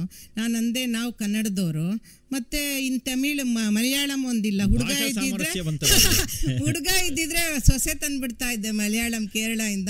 ದಕ್ಷಿಣ ಭಾರತನೇ ನಮ್ಮ ಮನೆಯಲ್ಲಿ ಇದೆ ಅಂತ ಹೇಳ್ಬೋದಾಗಿತ್ತು ಅಂತ. ಈ ತರ ತಮಾಷೆಯಾಗಿ ನಾನು ಬ ಬರ್ದಿದ್ದೊಂದು ಲೇಖನಕ್ಕೆ ಕಲಸು ಮೇಲೋಗರ ಅಂತ ಹೆಸರಿಟ್ಟೆ. ಇದರಲ್ಲಿ ವಿಷಯಗಳು ಈ ಕಲಸು ಮೇಲೋಗರ ಏನಾಗುತ್ತೆ ಟೈಮಿಗೆ ಸರಿಯಾಗಿ ಹಳಸೋಗಿರೋದೆಲ್ಲ ಫ್ರಿಜ್ಜಲ್ಲಿ ತುಂಬ್ತೀವಲ್ಲ ಅದನ್ನು ತೆಗೆದು ಹಾಕ್ತಾ ಇರಬೇಕು. ಈ ತಲೆನಲ್ಲೂ ಅಷ್ಟೇ ಬೇಡದೇ ಇರೋ ತ ಕಲಸು ಮೇಲೋಗರ ಯೋಚನೆಗಳೆಲ್ಲ ತುಂಬ್ಕೊಂಬಿಟ್ಟಿರುತ್ತೆ. ಅವಾಗ ಅವಾಗ ಇದನ್ನು ಕ್ಲೀನ್ ಮಾಡಿಕೊಂಡು ಹೊಸ ಆಲೋಚನೆಗಳನ್ನು ತುಂಬ್ಕೊಳ್ದೆ ಹೋದರೆ ಬದುಕು ತುಂಬ ದುರ್ಬರ ಆಗುತ್ತೆ ಭಾರ ಅನಿಸುತ್ತೆ. ನಿಜ ನಿಜ. ಇದರಲ್ಲಿ ಒಂದು ಅರ್ಥನೂ ಇದೆ ಗೂಢಾರ್ಥನೂ ಇದೆ ಅಂತ ಅನ್ನಿಸ್ತು ನನಗೆ. ಅಲ್ಲಿ ಅಂದ್ರೆ ನಗೋನು ಇರುತ್ತೆ ಹಾಸ್ಯದಲ್ಲೂ ಕೂಡ ಯಾವುದೋ ಒಂದು ಸಂದೇಶ ಕೂಡ ಇದೆ. ಹಾಗೆ ನನ್ನ ದ್ರೌಪದಿಯ ತಾಪತ್ರಯಗಳಿಗೂ ಕೂಡ ಹಾಗೇನೆ. ಈಗ ದ್ರೌಪದಿಯ ತಾಪತ್ರಯಗಳು ಅಂತ ಹೇಳಿದ್ರೆ ಅದು ದ್ರೌಪದಿ ಅಂತ ಹೇಳಿದ ತಕ್ಷಣ ನಮಗೆ ಪುರಾಣ ಪಾತ್ರದ ಕಲ್ಪನೆ ಬರುತ್ತೆ. ಇದು ಪೌರಾಣಿಕವಾದಂತಹ ಅರ್ಥವ್ಯಾಪ್ತಿಯನ್ನು ಒಳ- ಒಳಗೊಂಡಂತಹ ಒಂದು ಕಥಾವಸ್ತುನ ಇದು? ಇಲ್ಲ ಸರ್. ನಾನು ಅದೇ ನಾನು ಗಂಭೀರವಾದ ಸಾಹಿತ್ಯದ ಬಗ್ಗೆ ಬರೆಯಲ್ಲ ಅಂತ ಹೇಳಿದ್ನಲ್ಲ. ನಾನು ದ್ರೌಪದಿ ತಾಪತ್ರಯ ಅಂತ ಯಾಕೆ ಹೆಸರಿಟ್ಟೆ ಅಂದ್ರೆ ದ್ರೌಪದಿಗೆ ಎಲ್ರಿಗೂ ಗೊತ್ತಿರೋ ಹಾಗೆ ಐದು ಜನ ಗಂಡಂದ್ರು. ಅವಳು ಅಷ್ಟು ಗಂಡಂದ್ರಿದ್ರು ಏನ್ ಬಹಳ ಸುಖವಾಗೇನಿರ್ಲಿಲ್ಲ ಪಾಪ ಅವಳು ಇಡೀ ಜೀವನ ಕಷ್ಟದಲ್ಲೇ ಕಳೆದ್ಲು ಒಂದು ಇದರಲ್ಲಿ. ಅದಕ್ಕೆ ನಾನು ಅನ್ಕೊಂಡೆ ನನ್ನನ್ನ ನಾನೇ ದ್ರೌಪದಿ ಅನ್ಕೊಂಡೆ. ಯಾಕಂದ್ರೆ ಪಾಪ ನನ್ನ ಗಂಡ ಧರ್ಮರಾಯನ್ ಅಂತ ಅವ್ರೇನೆ ಎರಡು ಮಾತಿಲ್ಲ. ಆದ್ರೆ ಇನ್ನು ಉಳಿದಿದ್ದ ಗಂಡಂದ್ರನ ಯಾರು ಅಂತ ಎಲ್ರು ಆಶ್ಚರ್ಯ. ಯಾರೇ ನಿನ್ ಗಂಡಂದ್ರು ನಾಲ್ಕು ಜನ ಅಂತ ಎಲ್ರು ಕೇಳ್ತಾ ನೀ ದ್ರೌಪದಿ ಆದ್ಮೇಲೆ ನಿಂಗೆ ಐದು ಜನ ನನಗೆ ನನ್ಗೆ ಬಿ ಪಿ ಇದೆ. ಶುಗರ್ ಇದೆ ಆರ್ಥ್ರೈಟಿಸ್ ಇದೆ ಇವರೆಲ್ಲ ಗಂಡಾಂತರಗಳೇ ಗಂಡಂದ್ರಾಗಿದ್ದಾರೆ. ಆದ್ರಿಂದ ಇವರೆಲ್ಲ ನಾನು ದ್ರೌಪದಿ ಇವ್ರ ಜೊತೆ ಎಲ್ಲ ಏಕೊಂಡು ಇದ್ದೀನಿ ನಾನು ಇದುವರೆಗೂ ಎಪ್ಪತ್ತು ವರ್ಷ ಆಗ್ತಾ ಬಂತು. ಇವ್ರಿಗೆಲ್ಲ ಸ್ವಲ್ಪ ಸ್ವಲ್ಪ ಆಹಾರ ಹಾಕೊಂಡು ಬ್ಯಾಗಲ್ಲಿ ಇಟ್ಕೊಂಡು ಹೋದ್ರೆ ಸಾಕು ಈ ಗಂಡಂದ್ರ ಜೊತೆ ಅಂತರವನ್ನ ಕಾಪಾಡ್ಕೋಬೇಕು ಅಂತ ಅವ್ರನ್ನೆಲ್ಲ ಪ್ಲೀಸ್ ಮಾಡ್ತಾ ಇರಬೇಕು ಸಮರ್ಪಕವಾಗಿ. ನನ್ನ ಧರ್ಮರಾಯನಂತ ಗಂಡ ಬಹಳ ಸಂಯಮದಿಂದ ಬಹಳ ಪೇಷನ್ಸ್ ಇಂದ ಇರ್ತಾರೆ. ನಿಜವಾಗಿ ಧರ್ಮರಾಯನ್ ತರಾನೇ ವರ್ತಿಸ್ತಾರೆ. ಮಿಕ್ಕವ್ರು ಹಂಗಲ್ಲ. ಯಾವಾಗ ಬೇಕಾದ್ರೂ ಕೆರಳ್ಕೋಬಹುದು ಅವರು. ಇವ್ರನ್ನೆಲ್ಲ ಒಂದು ಬ್ಯಾಲೆನ್ಸ್ ಅಲ್ಲಿ ಇಡ್ಬೇಕಲ್ಲ. ಅದು ಬಹಳ ಕಷ್ಟದ ಕೆಲಸನೇ. ಅದಕ್ಕೆ ತಾಪತ್ರಯಗಳು ಚೆನ್ನಾಗಿ ನೀವು ಅನಲೈಸ್ ಮಾಡಿದ್ರಿ ಅಂತ ಹೇಳಿದ್ರೆ ನಿಮ್ಮ ಮನೆಯವರಿಗೆ ನೀವು ಎರಡನೇ ಹೆಂಡತಿ. ನಿಮಗೆ ಐದು ಜನ ಗಂಡಂದ್ರು. ಅಲ್ಲ ಇದು ಸುಮ್ಮನೆ ಹಾಗೆ ಕೇಳಿದ್ರೆ ಏನಪ್ಪ ಇದು ಅಂತ ಅನಿಸ್ಬಿಡುತ್ತೆ. ಸ್ವಲ್ಪ ಒಂಚೂರು ಅದನ್ನು ಲೈಟರ್ ವೇನಲ್ಲಿ ತಗೊಂಡ್ರೆ ಎಷ್ಟು ಒಂದು ಅದ್ಭುತವಾದಂಥ ಕಲ್ಪನೆ. ಇವತ್ತು ನಮ್ಮ ಬದುಕಿನಲ್ಲಿ ಹಾಸ್ಯದ ಸನ್ನಿವೇಶಗಳೇ ಒಂಥರ ನಿರ್ಮಾಣ ಆಗ್ತಾ ಇಲ್ಲ. ಅದರ, ಅದನ್ನು ಆಸ್ವಾದಿಸುವಂತಹ ಶಕ್ತಿಯು ನಮಗೆ ಕಡಿಮೆ ಆಗ್ತಾ ಇದೆ ಅನ್ನುವಂಥದ್ದು ಒಂದು ಸಾಮಾನ್ಯ ಗ್ರಹಿಕೆ. ಹಾಗಾಗಿ ಇವತ್ತು ಈ ಹಾಸ್ಯಕೂಟಗಳಿಗೆ, ಈ ನಗೆಕೂಟಗಳಿಗೆ ತುಂಬ ಜನ ಬರೋದನ್ನು ನಾವು ನೋಡ್ತಾ ಇದ್ದೀವಿ. ನಿಜವಾಗಿ ನಮ್ಮ ಬದುಕಿನಲ್ಲಿ ನಾವು ಹಾಸ್ಯವನ್ನು ನಾವು ಹ್ಯಾಕ್ ತಗೋಬೇಕು ಮೇಡಮ್. ಅಂದ್ರೆ ನಾನು ನಾನು ಹಾಸ್ಯ ಕೂಟಗಳಿಗೆ ತುಂಬಾ ವರ್ಷದಿಂದ ಹೋಗ್ತಾ ಇದ್ದೀನಿ. ಅಲ್ಲಿ ಸುಮ್ಮನೆ ನಾನು ಹೇಳೋದೇನಂದ್ರೆ ಹಾಸ್ಯ ಕೂಟಗಳಲ್ಲಿ ಆಹಾಹಾ ಓಹೋ ಅಂತ ಕ್ಲಾಪ್ ಮಾಡ್ಕೊಂಡು ಮಾಡ್ತಾರೆ. ನಿಜವಾದ ಹಾಸ್ಯ ಅಲ್ಲ. ಮಾಡ್ಬೇಕಲ್ಲ ಅನ್ನೋದೊಂದು ಇರುತ್ತೆ ಹಾಸ್ಯದಲ್ಲಿ. ನಿಜವಾದ ಹಾಸ್ಯ ಬಂದಾಗ ಮನಸಾರೆ ನಗೋದಿರುತ್ತಲ್ಲ ಅದು ಬಹಳ ಮುಖ್ಯವಾಗಿರುತ್ತೆ. ನಾವು ಯಾವುದು ಯಾವಾಗಲೂ ಗಂಭೀರವಾಗಿರೋಕ್ಕಿಂತ ಹಾಸ್ಯವಾಗಿ ನಗ್ತಾ ಇದ್ದಾಗ ನಮ್ಮ ದೇಹದಲ್ಲಿ ಪ್ರತಿಕ್ರಿಯೆಗಳು ಪ್ರಕ್ರಿಯೆಗಳು ಬಹಳ ಜಾಸ್ತಿ ಆಗುತ್ತೆ ನಮ್ಮ ಆರೋಗ್ಯ ಜಾಸ್ತಿ ಆಗುತ್ತೆ. ಏನು ನಾವು ಗಂಭೀರವಾಗಿ ಇದ್ಬಿಟ್ರೆ ನಾವು ನಮ್ಮನೇಲೆ ನಾವಿಬ್ರು ಬಹಳ ವಿರುದ್ಧ ದಿಕ್ಕಿನಲ್ಲಿದ್ದೀವಿ. ನಮ್ಮ ಮನೆಯವರು ತುಂಬಾ ಗಂಭೀರ ಪ್ರಕೃತಿಯವರು ನಾನು ಹಾಸ್ಯ ಪ್ರಕೃತಿಯವಳು. ಆಮೇಲೆ ನನ್ನ ಜೊತೆ ಎಲ್ಲ ಫೋನ್ ಮಾಡೋರೆಲ್ಲ ತಮಾಷೆಯಾಗಿ ಎಂಜಾಯ್ ಮಾಡ್ತಾರೆ ಫೋನ್ ಮಾಡ್ತಾ ಇದ್ರೆ ಎಲ್ಲ ರೇಗಿಸ್ಕೊಂಡು ಇದು ಮಾಡ್ತಾ ಇರ್ತೀನಿ. ಆ, ಯಾಕೆ ಬಹುಶಃ ಅದಕ್ಕೆ ಇರ್ಬೋದು ನಾನು ಇಷ್ಟು ಹಾಸ್ಯ ಪ್ರವೃತ್ತಿ ಆಗಿರೋ ಕಾರಣ. ನಮ್ಮ ಯಜಮಾನರು ಬಹಳ ಗಂಭೀರವಾಗಿರ್ತಾರಲ್ಲ ನಾನು ಸ್ವಲ್ಪ ಹಾಸ್ಯವಾಗಿ ಮಾತಾಡ್ಕೊಂಡಿರೋಣ ಅಂತ. ಹಾಸ್ಯ ಅನ್ನೋದು ಯಾರೇ ಒಂದು ತಾನಾಗಿ ತಾನೇ ಹುಟ್ಟಬೇಕು. ಬಲವಂತವಾಗಿ ಹುಟ್ಟೋದಲ್ಲ ಅದು. ನಮ್ಮ ದೃಷ್ಟಿಕೋನ ಬದುಕಿನಲ್ಲಿ ಯಾವ ರೀತಿ ತಗೊಳ್ತೀವಿ ಅನ್ನೋದ್ರ ಮೇಲೆ ಹೋಗುತ್ತೆ. ಒಂದು ನಾನೊಂದು ಉದಾಹರಣೆ ಮೊನ್ನೆ ನಮ್ಮ ಮನೆಯವ್ರಿಗೆ ರೇಗಿಸ್ತಾ ಇದ್ದೆ ಅಂತ ಹೇಳಿದ್ನಲ್ಲ ನಿಮಗೆ. ನಮ್ಮ ಮನೆಯವರು ಯಾವ್ದಾದ್ರು ಊರಿಗೆ ಹೋದ್ರೆ ನಾವು ಈಗ ಪ್ರವಾಸ ಹೋಗ್ತಾ ಇರ್ತೀವಿ ಅದು ಊರವ್ರಿಗೆಲ್ಲ. ನಾನು ಹೇಳಿದ್ನಲ್ಲ ದ್ರೌಪದಿಯ ತಾಪತ್ರಯಗಳು ಅಂತ. ನನಗೆ ಕೀಲ್ ನೋವುಗಳು ಜಾಸ್ತಿ. ಅದಕ್ಕೆ ನಮ್ಮ ಯಜಮಾನ್ರು ಎಣ್ಣೆ ಹುಡುಕ್ತಾ ಇರ್ತಾರೆ. ಅದಕ್ಕೆ ನಾನು ಯಾರ ಹತ್ರ ಹೇಳಿದೆ ನಮ್ಮ ಯಜಮಾನ್ರು ತುಂಬಾ ಎಣ್ಣೆ ಸ್ಟಾಕ್ ಇಟ್ಟಿದ್ದಾರೆ ಅಂತ. ಹೌದಾ ಹಂಗಾರೆ? ಯಾರು ನೋಡಿದ್ರೆ ಏನ್ ಇವ್ರು ಇಷ್ಟೊಂದು ಕುಡಿತಾರ ಅಲ್ಲ ಪಾಪ ಅವ್ರ ಪ್ರೀತಿಯಿಂದ ಹೆಂಡತಿಗೆ ತಂದ್ಕೊಡ್ತಾರೆ ಕೀಲ್ ಬೇರೆ ಬೇರೆ ದೇಶಗಳಿಗೆ ಹೋದಾಗ್ಲೂ ಅವರು ಸಂಗ್ರಹಿಸಿ ತಂದ್ಕೊಡ್ತಾ ಇರ್ತಾರೆ ಅಂತ ನಾನು ಹೇಳ್ದೆ. ಹೀಗೆ ನಾವು ಯಾವುದೇ ಒಂದು ಮಾತಿನಲ್ಲಿ ನಾವೇ ನಾವು ಹುಡ್ಕೊಂಡು ನಗ್ಗು ನಗ್ದಾಗ ಬದುಕು ನಿಜವಾಗ್ಲೂ ಹಗುರ ಆಗುತ್ತೆ. ಈ ಕರೋನಾ ಕಾಲದಲ್ಲೂ ಅಷ್ಟೇ ನಾನು ತುಂಬಾ ಕರೋನಾನ ಗಂಭೀರವಾಗಿ ತಗೊಂಡು ತುಂಬಾ ನಿದ್ದೆಗೆಟ್ಕೊಂಡೆ ತುಂಬಾ ನನ್ನ ಆರೋಗ್ಯನೂ ಹಾಳಾಯ್ತು ಮದ್ದು ಮೊದ್ಲಿಗೆ. ಆಮೇಲೆ ನಾನು ಬರ್ತಾ ಬರ್ತಾ ಅದನ್ನ ನಾನು ಡೈರಿ ಬರೆಯಕ್ ಶುರು ಮಾಡಿದೆ ಕವನಗಳು ಬರೆಯಕ್ ಶುರು ಮಾಡಿದೆ. ಒಂದಂತೂ ಅದ್ಭುತವಾದ ಒಂದು ಹಾಸ್ಯ ಕವನನೂ ಕೂಡ ಬರೆದು ಇದು ಮಾಡ್ಬಿಟ್ಟೆ. ನಾನು ಓದ್ಲಿಕ್ಕೆ ಬೇಕಾದ್ರೆ ನಾನು ಇದ್ ಮಾಡ್ತೀನಿ ಅದನ್ನ. ಖಂಡಿತವಾಗಿ ಅದನ್ನ ನಮ್ಮ ಕೇಳಿದ್ರಿಗೂ ಕೇಳಿಸೋಣ. ನಿದ್ದೆ ಬರ್ತಿಲ್ಲ ನಂಗೆ ನಿದ್ದೆ ಬರ್ತಿಲ್ಲ. ನಿದ್ದೆ ಬರ್ತಿಲ್ಲ ನಂಗೆ ನಿದ್ದೆ ಬರ್ತಿಲ್ಲ. ದಿನ ಪೂರ್ತಿಯಾದೆ ಸುದ್ದಿ ಸುತ್ತಿ ಬಳಸಿ ತಿರ್ಗಾ ಮುರ್ಗ. ಸಾವು ನೋವು ಕೇಳಿ ಕೇಳಿ ನಿದ್ದೆ ಬರ್ತಿಲ್ಲ. ದೇವ್ರೆ, ನೀನು ಎಲ್ಲಿಗೋದೆ ಕಾಣಿಕೆ ಇಲ್ದೆ ಕಂಗೆಟ್ಟು. ತೀರ್ಥ ಪ್ರಸಾದ ಬೇಡ ಎಂದು ಪೂಜೆ ಮಂತ್ರ ಕೇಳಿಸ್ಕೋತ. ನಿದ್ದೆ ಬರ್ತಿಲ್ಲ ನನಗೆ ನಿದ್ದೆ ಬರ್ತಿಲ್ಲ. ಮೂತಿಗೊಂದು ಬಟ್ಟೆ ಸುತ್ತಿ, ಕೈಗೆ ಸೋಪು ತಿಕ್ಕಿ ತಿಕ್ಕಿ. ಯಾರನ್ನೂ ಮುಟ್ಟೆ ಸಿಕ್ಕಿ ತಿಂದೆ, ಹೊತ್ತೆ ಹೋಗ್ದೆ ಮಂಕಾಗಿವ್ನಿ. ನಿದ್ದೆ ಬರ್ತಿಲ್ಲ ನನಗೆ ನಿದ್ದೆ ಬರ್ತಿಲ್ಲ. ಲಾಕು ಸೀಲು ಎಲ್ಲ ಫೇಲು, ಮುಚ್ಕೊಂಡು ಮನೆಯಲ್ಲಿದ್ರೆ ಮೇಲು. ವೈರಸ್ ಜೋಡಿ ವೈರಿ ಸೇರಿ ಜೀವ ಜೀವನ ಅಳ್ಳಾಡ್ತಿದೆ. ನಿದ್ದೆ ಬರ್ತಿಲ್ಲ, ನಂಗೆ ನಿದ್ದೆ ಬರ್ತಿಲ್ಲ. ಹೋಟ್ಲು ಸಿನಿಮಾ ಮರ್ತೆ ಹೋಯ್ತು, ಎಷ್ಟೋ ತಿಂಗಳು ಕಳೆದೆ ಹೋಯ್ತು. ಚಂದ್ರಲೋಕ ಕೊಂಟವ್ರಂಗೆ ನೌಕೆ ಬಾಗ್ಲು ಮುಚ್ಚಿ ಒಳಗೆ. ಉಸಿರಾಡ್ಕೊಂಡಿದ್ದೀವಲ್ಲ, ನಿದ್ದೆ ಬರ್ತಿಲ್ಲ ನನಗೆ ನಿದ್ದೆ ಬರ್ತಿಲ್ಲ. ಹೀಗೆ ಅನೇಕ ಕರೋನಾ ಕವನಗಳನ್ನೇ ಬರೆದು ನಾನು ಮನೆಯಲ್ಲಿ ಸಂತೋಷ ಪಡ್ತಾ ಇದ್ದೆ. ಈಗ ಅದರಿಂದ ಹೊರಗೆ ಬಂದಿದ್ದೀನಿ. ಆದರೂ ನಾವು ಎಚ್ಚರಿಕೆಯನ್ನು ಪಾಲಿಸ್ತಾ ಇದ್ದೀವಿ. ಈ ಮುಖಕ್ಕೆ ಹೀಗೆ ಮುಸುಕು ಬಾಯಿ ಮತ್ತೆ ಮೂಗನ್ನ ಮುಚ್ಕೊಂಡು ಓಡಾಡುವಾಗ ಯಾರು ನೀವು ಅಂತ ಕೇಳೋ ಪರಿಸ್ಥಿತಿ ಬಂದ್ಬಿಟ್ಟಿದೆ. ಗುರುತೇ ಸಿಗ್ತಾ ಇಲ್ಲ. ಸಾಲ ಕೊಟ್ಟಿರೋರಿಗೆ ಸಾಲ ಇಸ್ಕೊಂಡಿರೋರಿಗೆ ಒಳ್ಳೆ ಅವಕಾಶ ಇದು ಅಂತ ನಾನು ರೇಗಿಸ್ತಾ ಇರ್ತೀನಿ ಎಲ್ರಿಗೂ. ಒಂದು ಅಡ್ವಾಂಟೇಜ್ ಆಗ್ಬಿಟ್ಟಿದೆ ಇದು. ನಿಜವಾಗ್ಲೂ ನಾನು ಎಷ್ಟೋ ಸರಿ ನನ್ನನ್ನು ಗುರುತೇ ಹಿಡ್ದಿಲ್ಲ ಯಾರೂ ಯಾಕಂದ್ರೆ ನೀವ ಅಂತ ಹತ್ರ ಬಂದ ಮೇಲೆ ಇದನ್ನ ತೆಗೆದ್ಬಿಟ್ಟು ನೋಡ್ಬೇಕು. ಒಂದು ಮೊನ್ನೆ ಮದ್ವೆಗೆ ಹೋಗಿದ್ದೀವಿ ಅದು ಎಷ್ಟು ಅಭ್ಯಾಸ ಆಗೋಗಿದೆ ಅಂದ್ರೆ ಫೋಟೋಗೆ ನಿಂತ್ಕೊಳ್ಳೋವಾಗ ಕೂಡ ಅದು ತೆಗಿಯೋದು ಮರ್ತೇ ಹೋಗ್ಬಿಟ್ಟಿದೆ ಮುಸ್ಕನ್ನ. ಎಲ್ಲರೂ ನಗ್ತಾ ಇದ್ರು ಮುಗಿದ್ ಕಿತ್ತಗಿರ್ರಿ ಅಂತ.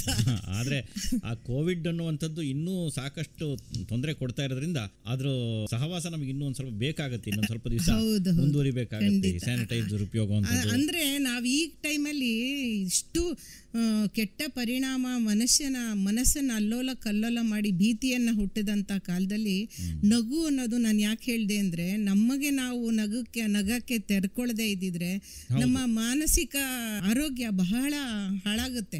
ಅದರಿಂದ ನಾವು ಕಷ್ಟದಲ್ಲೂ ಕೂಡ ಒಂದು ಕತ್ಲಲ್ಲಿ ಒಂದು ಸೂರ್ಯ ಕಿರಣನ ಹುಡ್ಕೊಳ್ಳೇಬೇಕಾಗುತ್ತೆ. ನಿಜ ಮೇಡಮ್ ನಿಜ. ತುಂಬ ಒಳ್ಳೆಯ ಮಾತುಗಳನ್ನು ಹೇಳಿದ್ರಿ. ಒಬ್ಬ ಕವಿ ಪ್ರಸ್ತುತವಾಗುವಂಥದ್ದು ಯಾವಾಗ ಅಂತ ಹೇಳಿದ್ರೆ ಅವನು ಸಮಕಾಲೀನ ಸಂವೇದನೆಗಳಿಗೆ ಸ್ಪಂದಿಸಿದಾಗ ಮಾತ್ರ ಅಂತ ಹೇಳಿ. ತಾವು ಈ ಥರದ ಕರೋನಾ ಸಂಕಷ್ಟದ ಕಾಲಕ್ಕೆಲ್ಲ ಸಾಕಷ್ಟು ಸ್ಪಂದಿಸಿದ್ದೀರಿ ತಾವು. ಬಹಳ ಸಂತೋಷ.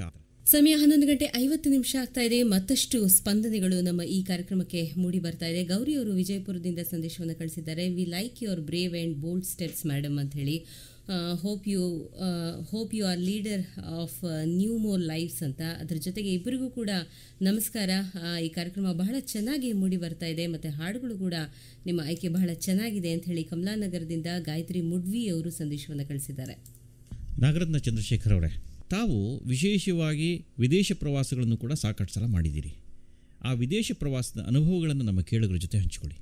ನನಗೆ ಕನಕ್ಪುರದಲ್ಲಿ ನಾನು ಚಿಕ್ಕವಳಾಗಿದ್ದಾಗ ವಿಮಾನ ಬಂದರೆ ನಾವು ಓಡೋಗ ಆಚೆ ಕಡೆ ನೋಡ್ತಾ ಇದ್ವಿ. ಕರೆಕ್ಟ್ ನಮಗೆ ಏನೋ ಒಂದು ಅದ್ಭುತ ವಿಮಾನ ಅಂತ. ಮುಂದೆ ಈ ವಿಮಾನದಲ್ಲಿ ನಾನು ಕೂತ್ಕೊಂಡು ಹತ್ತಾರು ದೇಶಗಳನ್ನು ಸುತ್ತಬಹುದು ಅನ್ನೋ ಕಲ್ಪನೆ ಸಹಿತ ಇರಲಿಲ್ಲ ನನಗೆ. ಒಂದು ಸತಿ ಅಂತೂ ನಾ ಚಿಕ್ಕವಳಾಗಿರುವಾಗ ಒಂದು ಸಣ್ಣ ಒಂದು ವಿಮಾನ ನಮ್ಮ ಕನಕ್ಪುರದ ಒಂದು ಕಲ್ಯಾಣಿ ಒಳಗೆ ಬಿದ್ದೇ ಹೋಯ್ತು.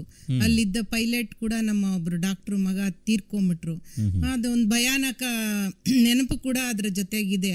ಹಾಗಾಗಿ ಯಾ ಇವತ್ತು ಕೂಡ ನಾನು ನಮ್ಮ ಮಕ್ಕಳು ವಿದೇಶಕ್ಕೆ ಹೋದ್ಮೇಲೆ ನಾನು ಎಂಟು ಸರಿ ಅಮೇರಿಕಾಗೆ ಹೋದರೂ ಕೂಡ ಇವತ್ತು ಕೂಡ ವಿಮಾನ ಏರಕ್ಕೆ ಮುಂಚೆ ನಿದ್ದೆ ಬರೋದಿಲ್ಲ ನನಗೆ ಒಂದು. ಯಾಕಂದರೆ ಆಕಾಶದಲ್ಲಿ ಹಾರಾಡುವಾಗ ನಮಗೆ ಯಾವ ಕಲ್ಪನೆ ಇರುತ್ತೆ ನಾವು ಅದನ್ನ ಅಲ್ಲಿ ಹೋಗಿ ಕೂತ್ಕೊಂಡ್ಮೇಲೆ ಖಂಡಿತ ಇರಲ್ಲ ಹೊಟ್ಟೋಗ್ಬಿಡುತ್ತೆ ನಾವು ಸೇಫಾಗಿ ಲ್ಯಾಂಡ್ ಆಗೋ ತನಕ ನಮ್ಮ ಜೀವ ಕೈಲಿಡ್ಕೊಂಡೇ ಇರ್ತೀವಿ ನಾವು.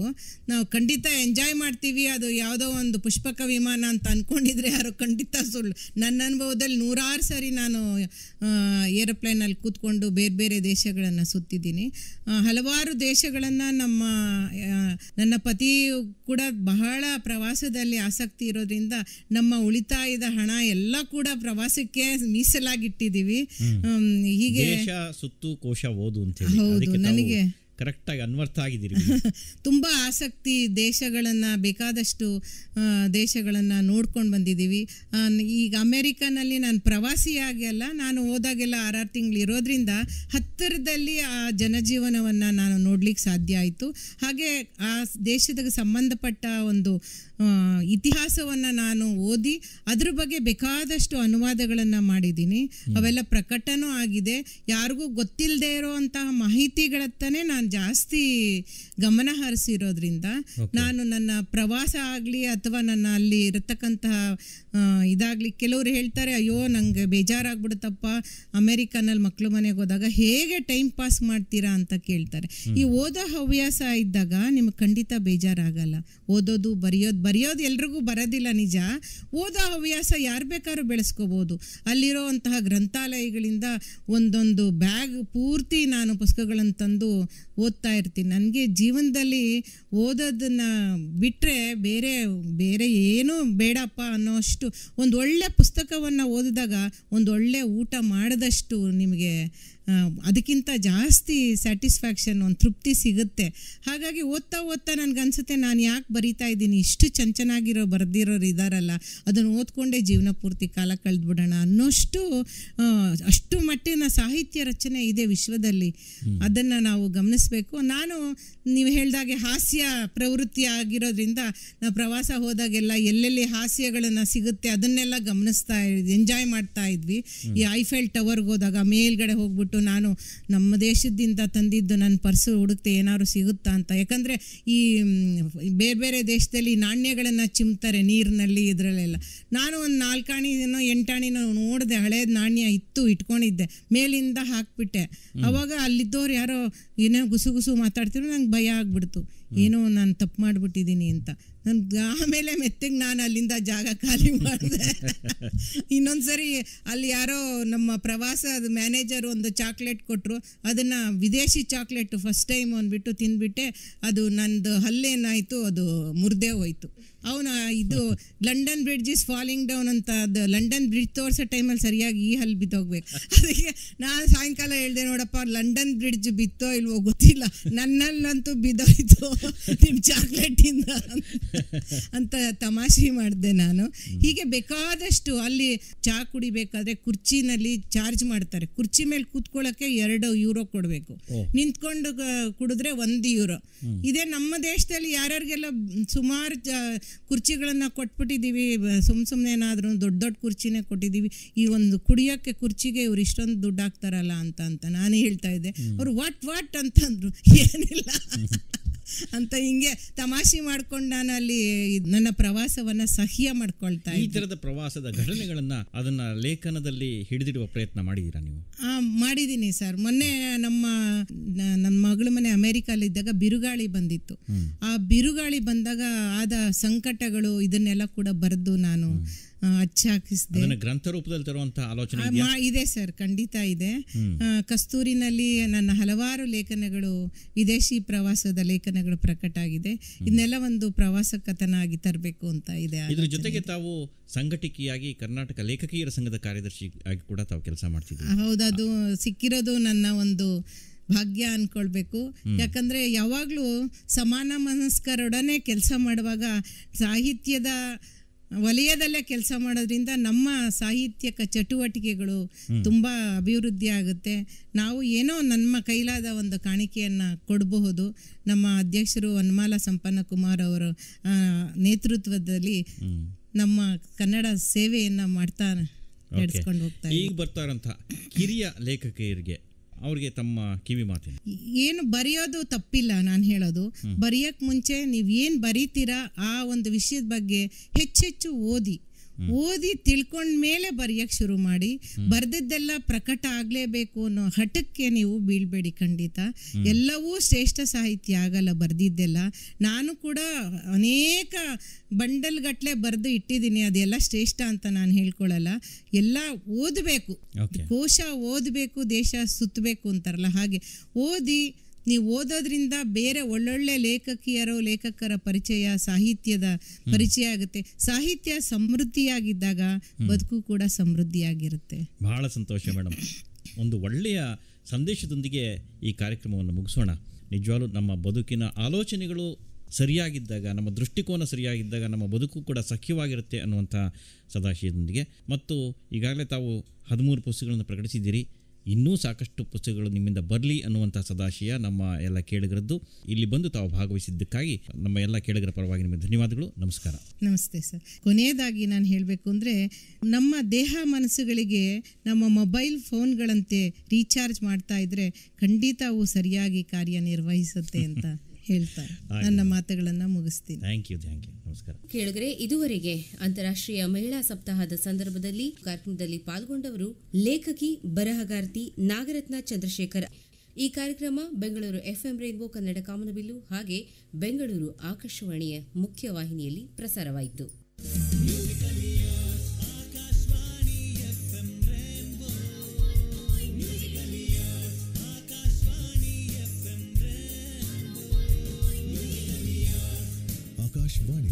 Rainbow 101.3 MHz. Musically yours.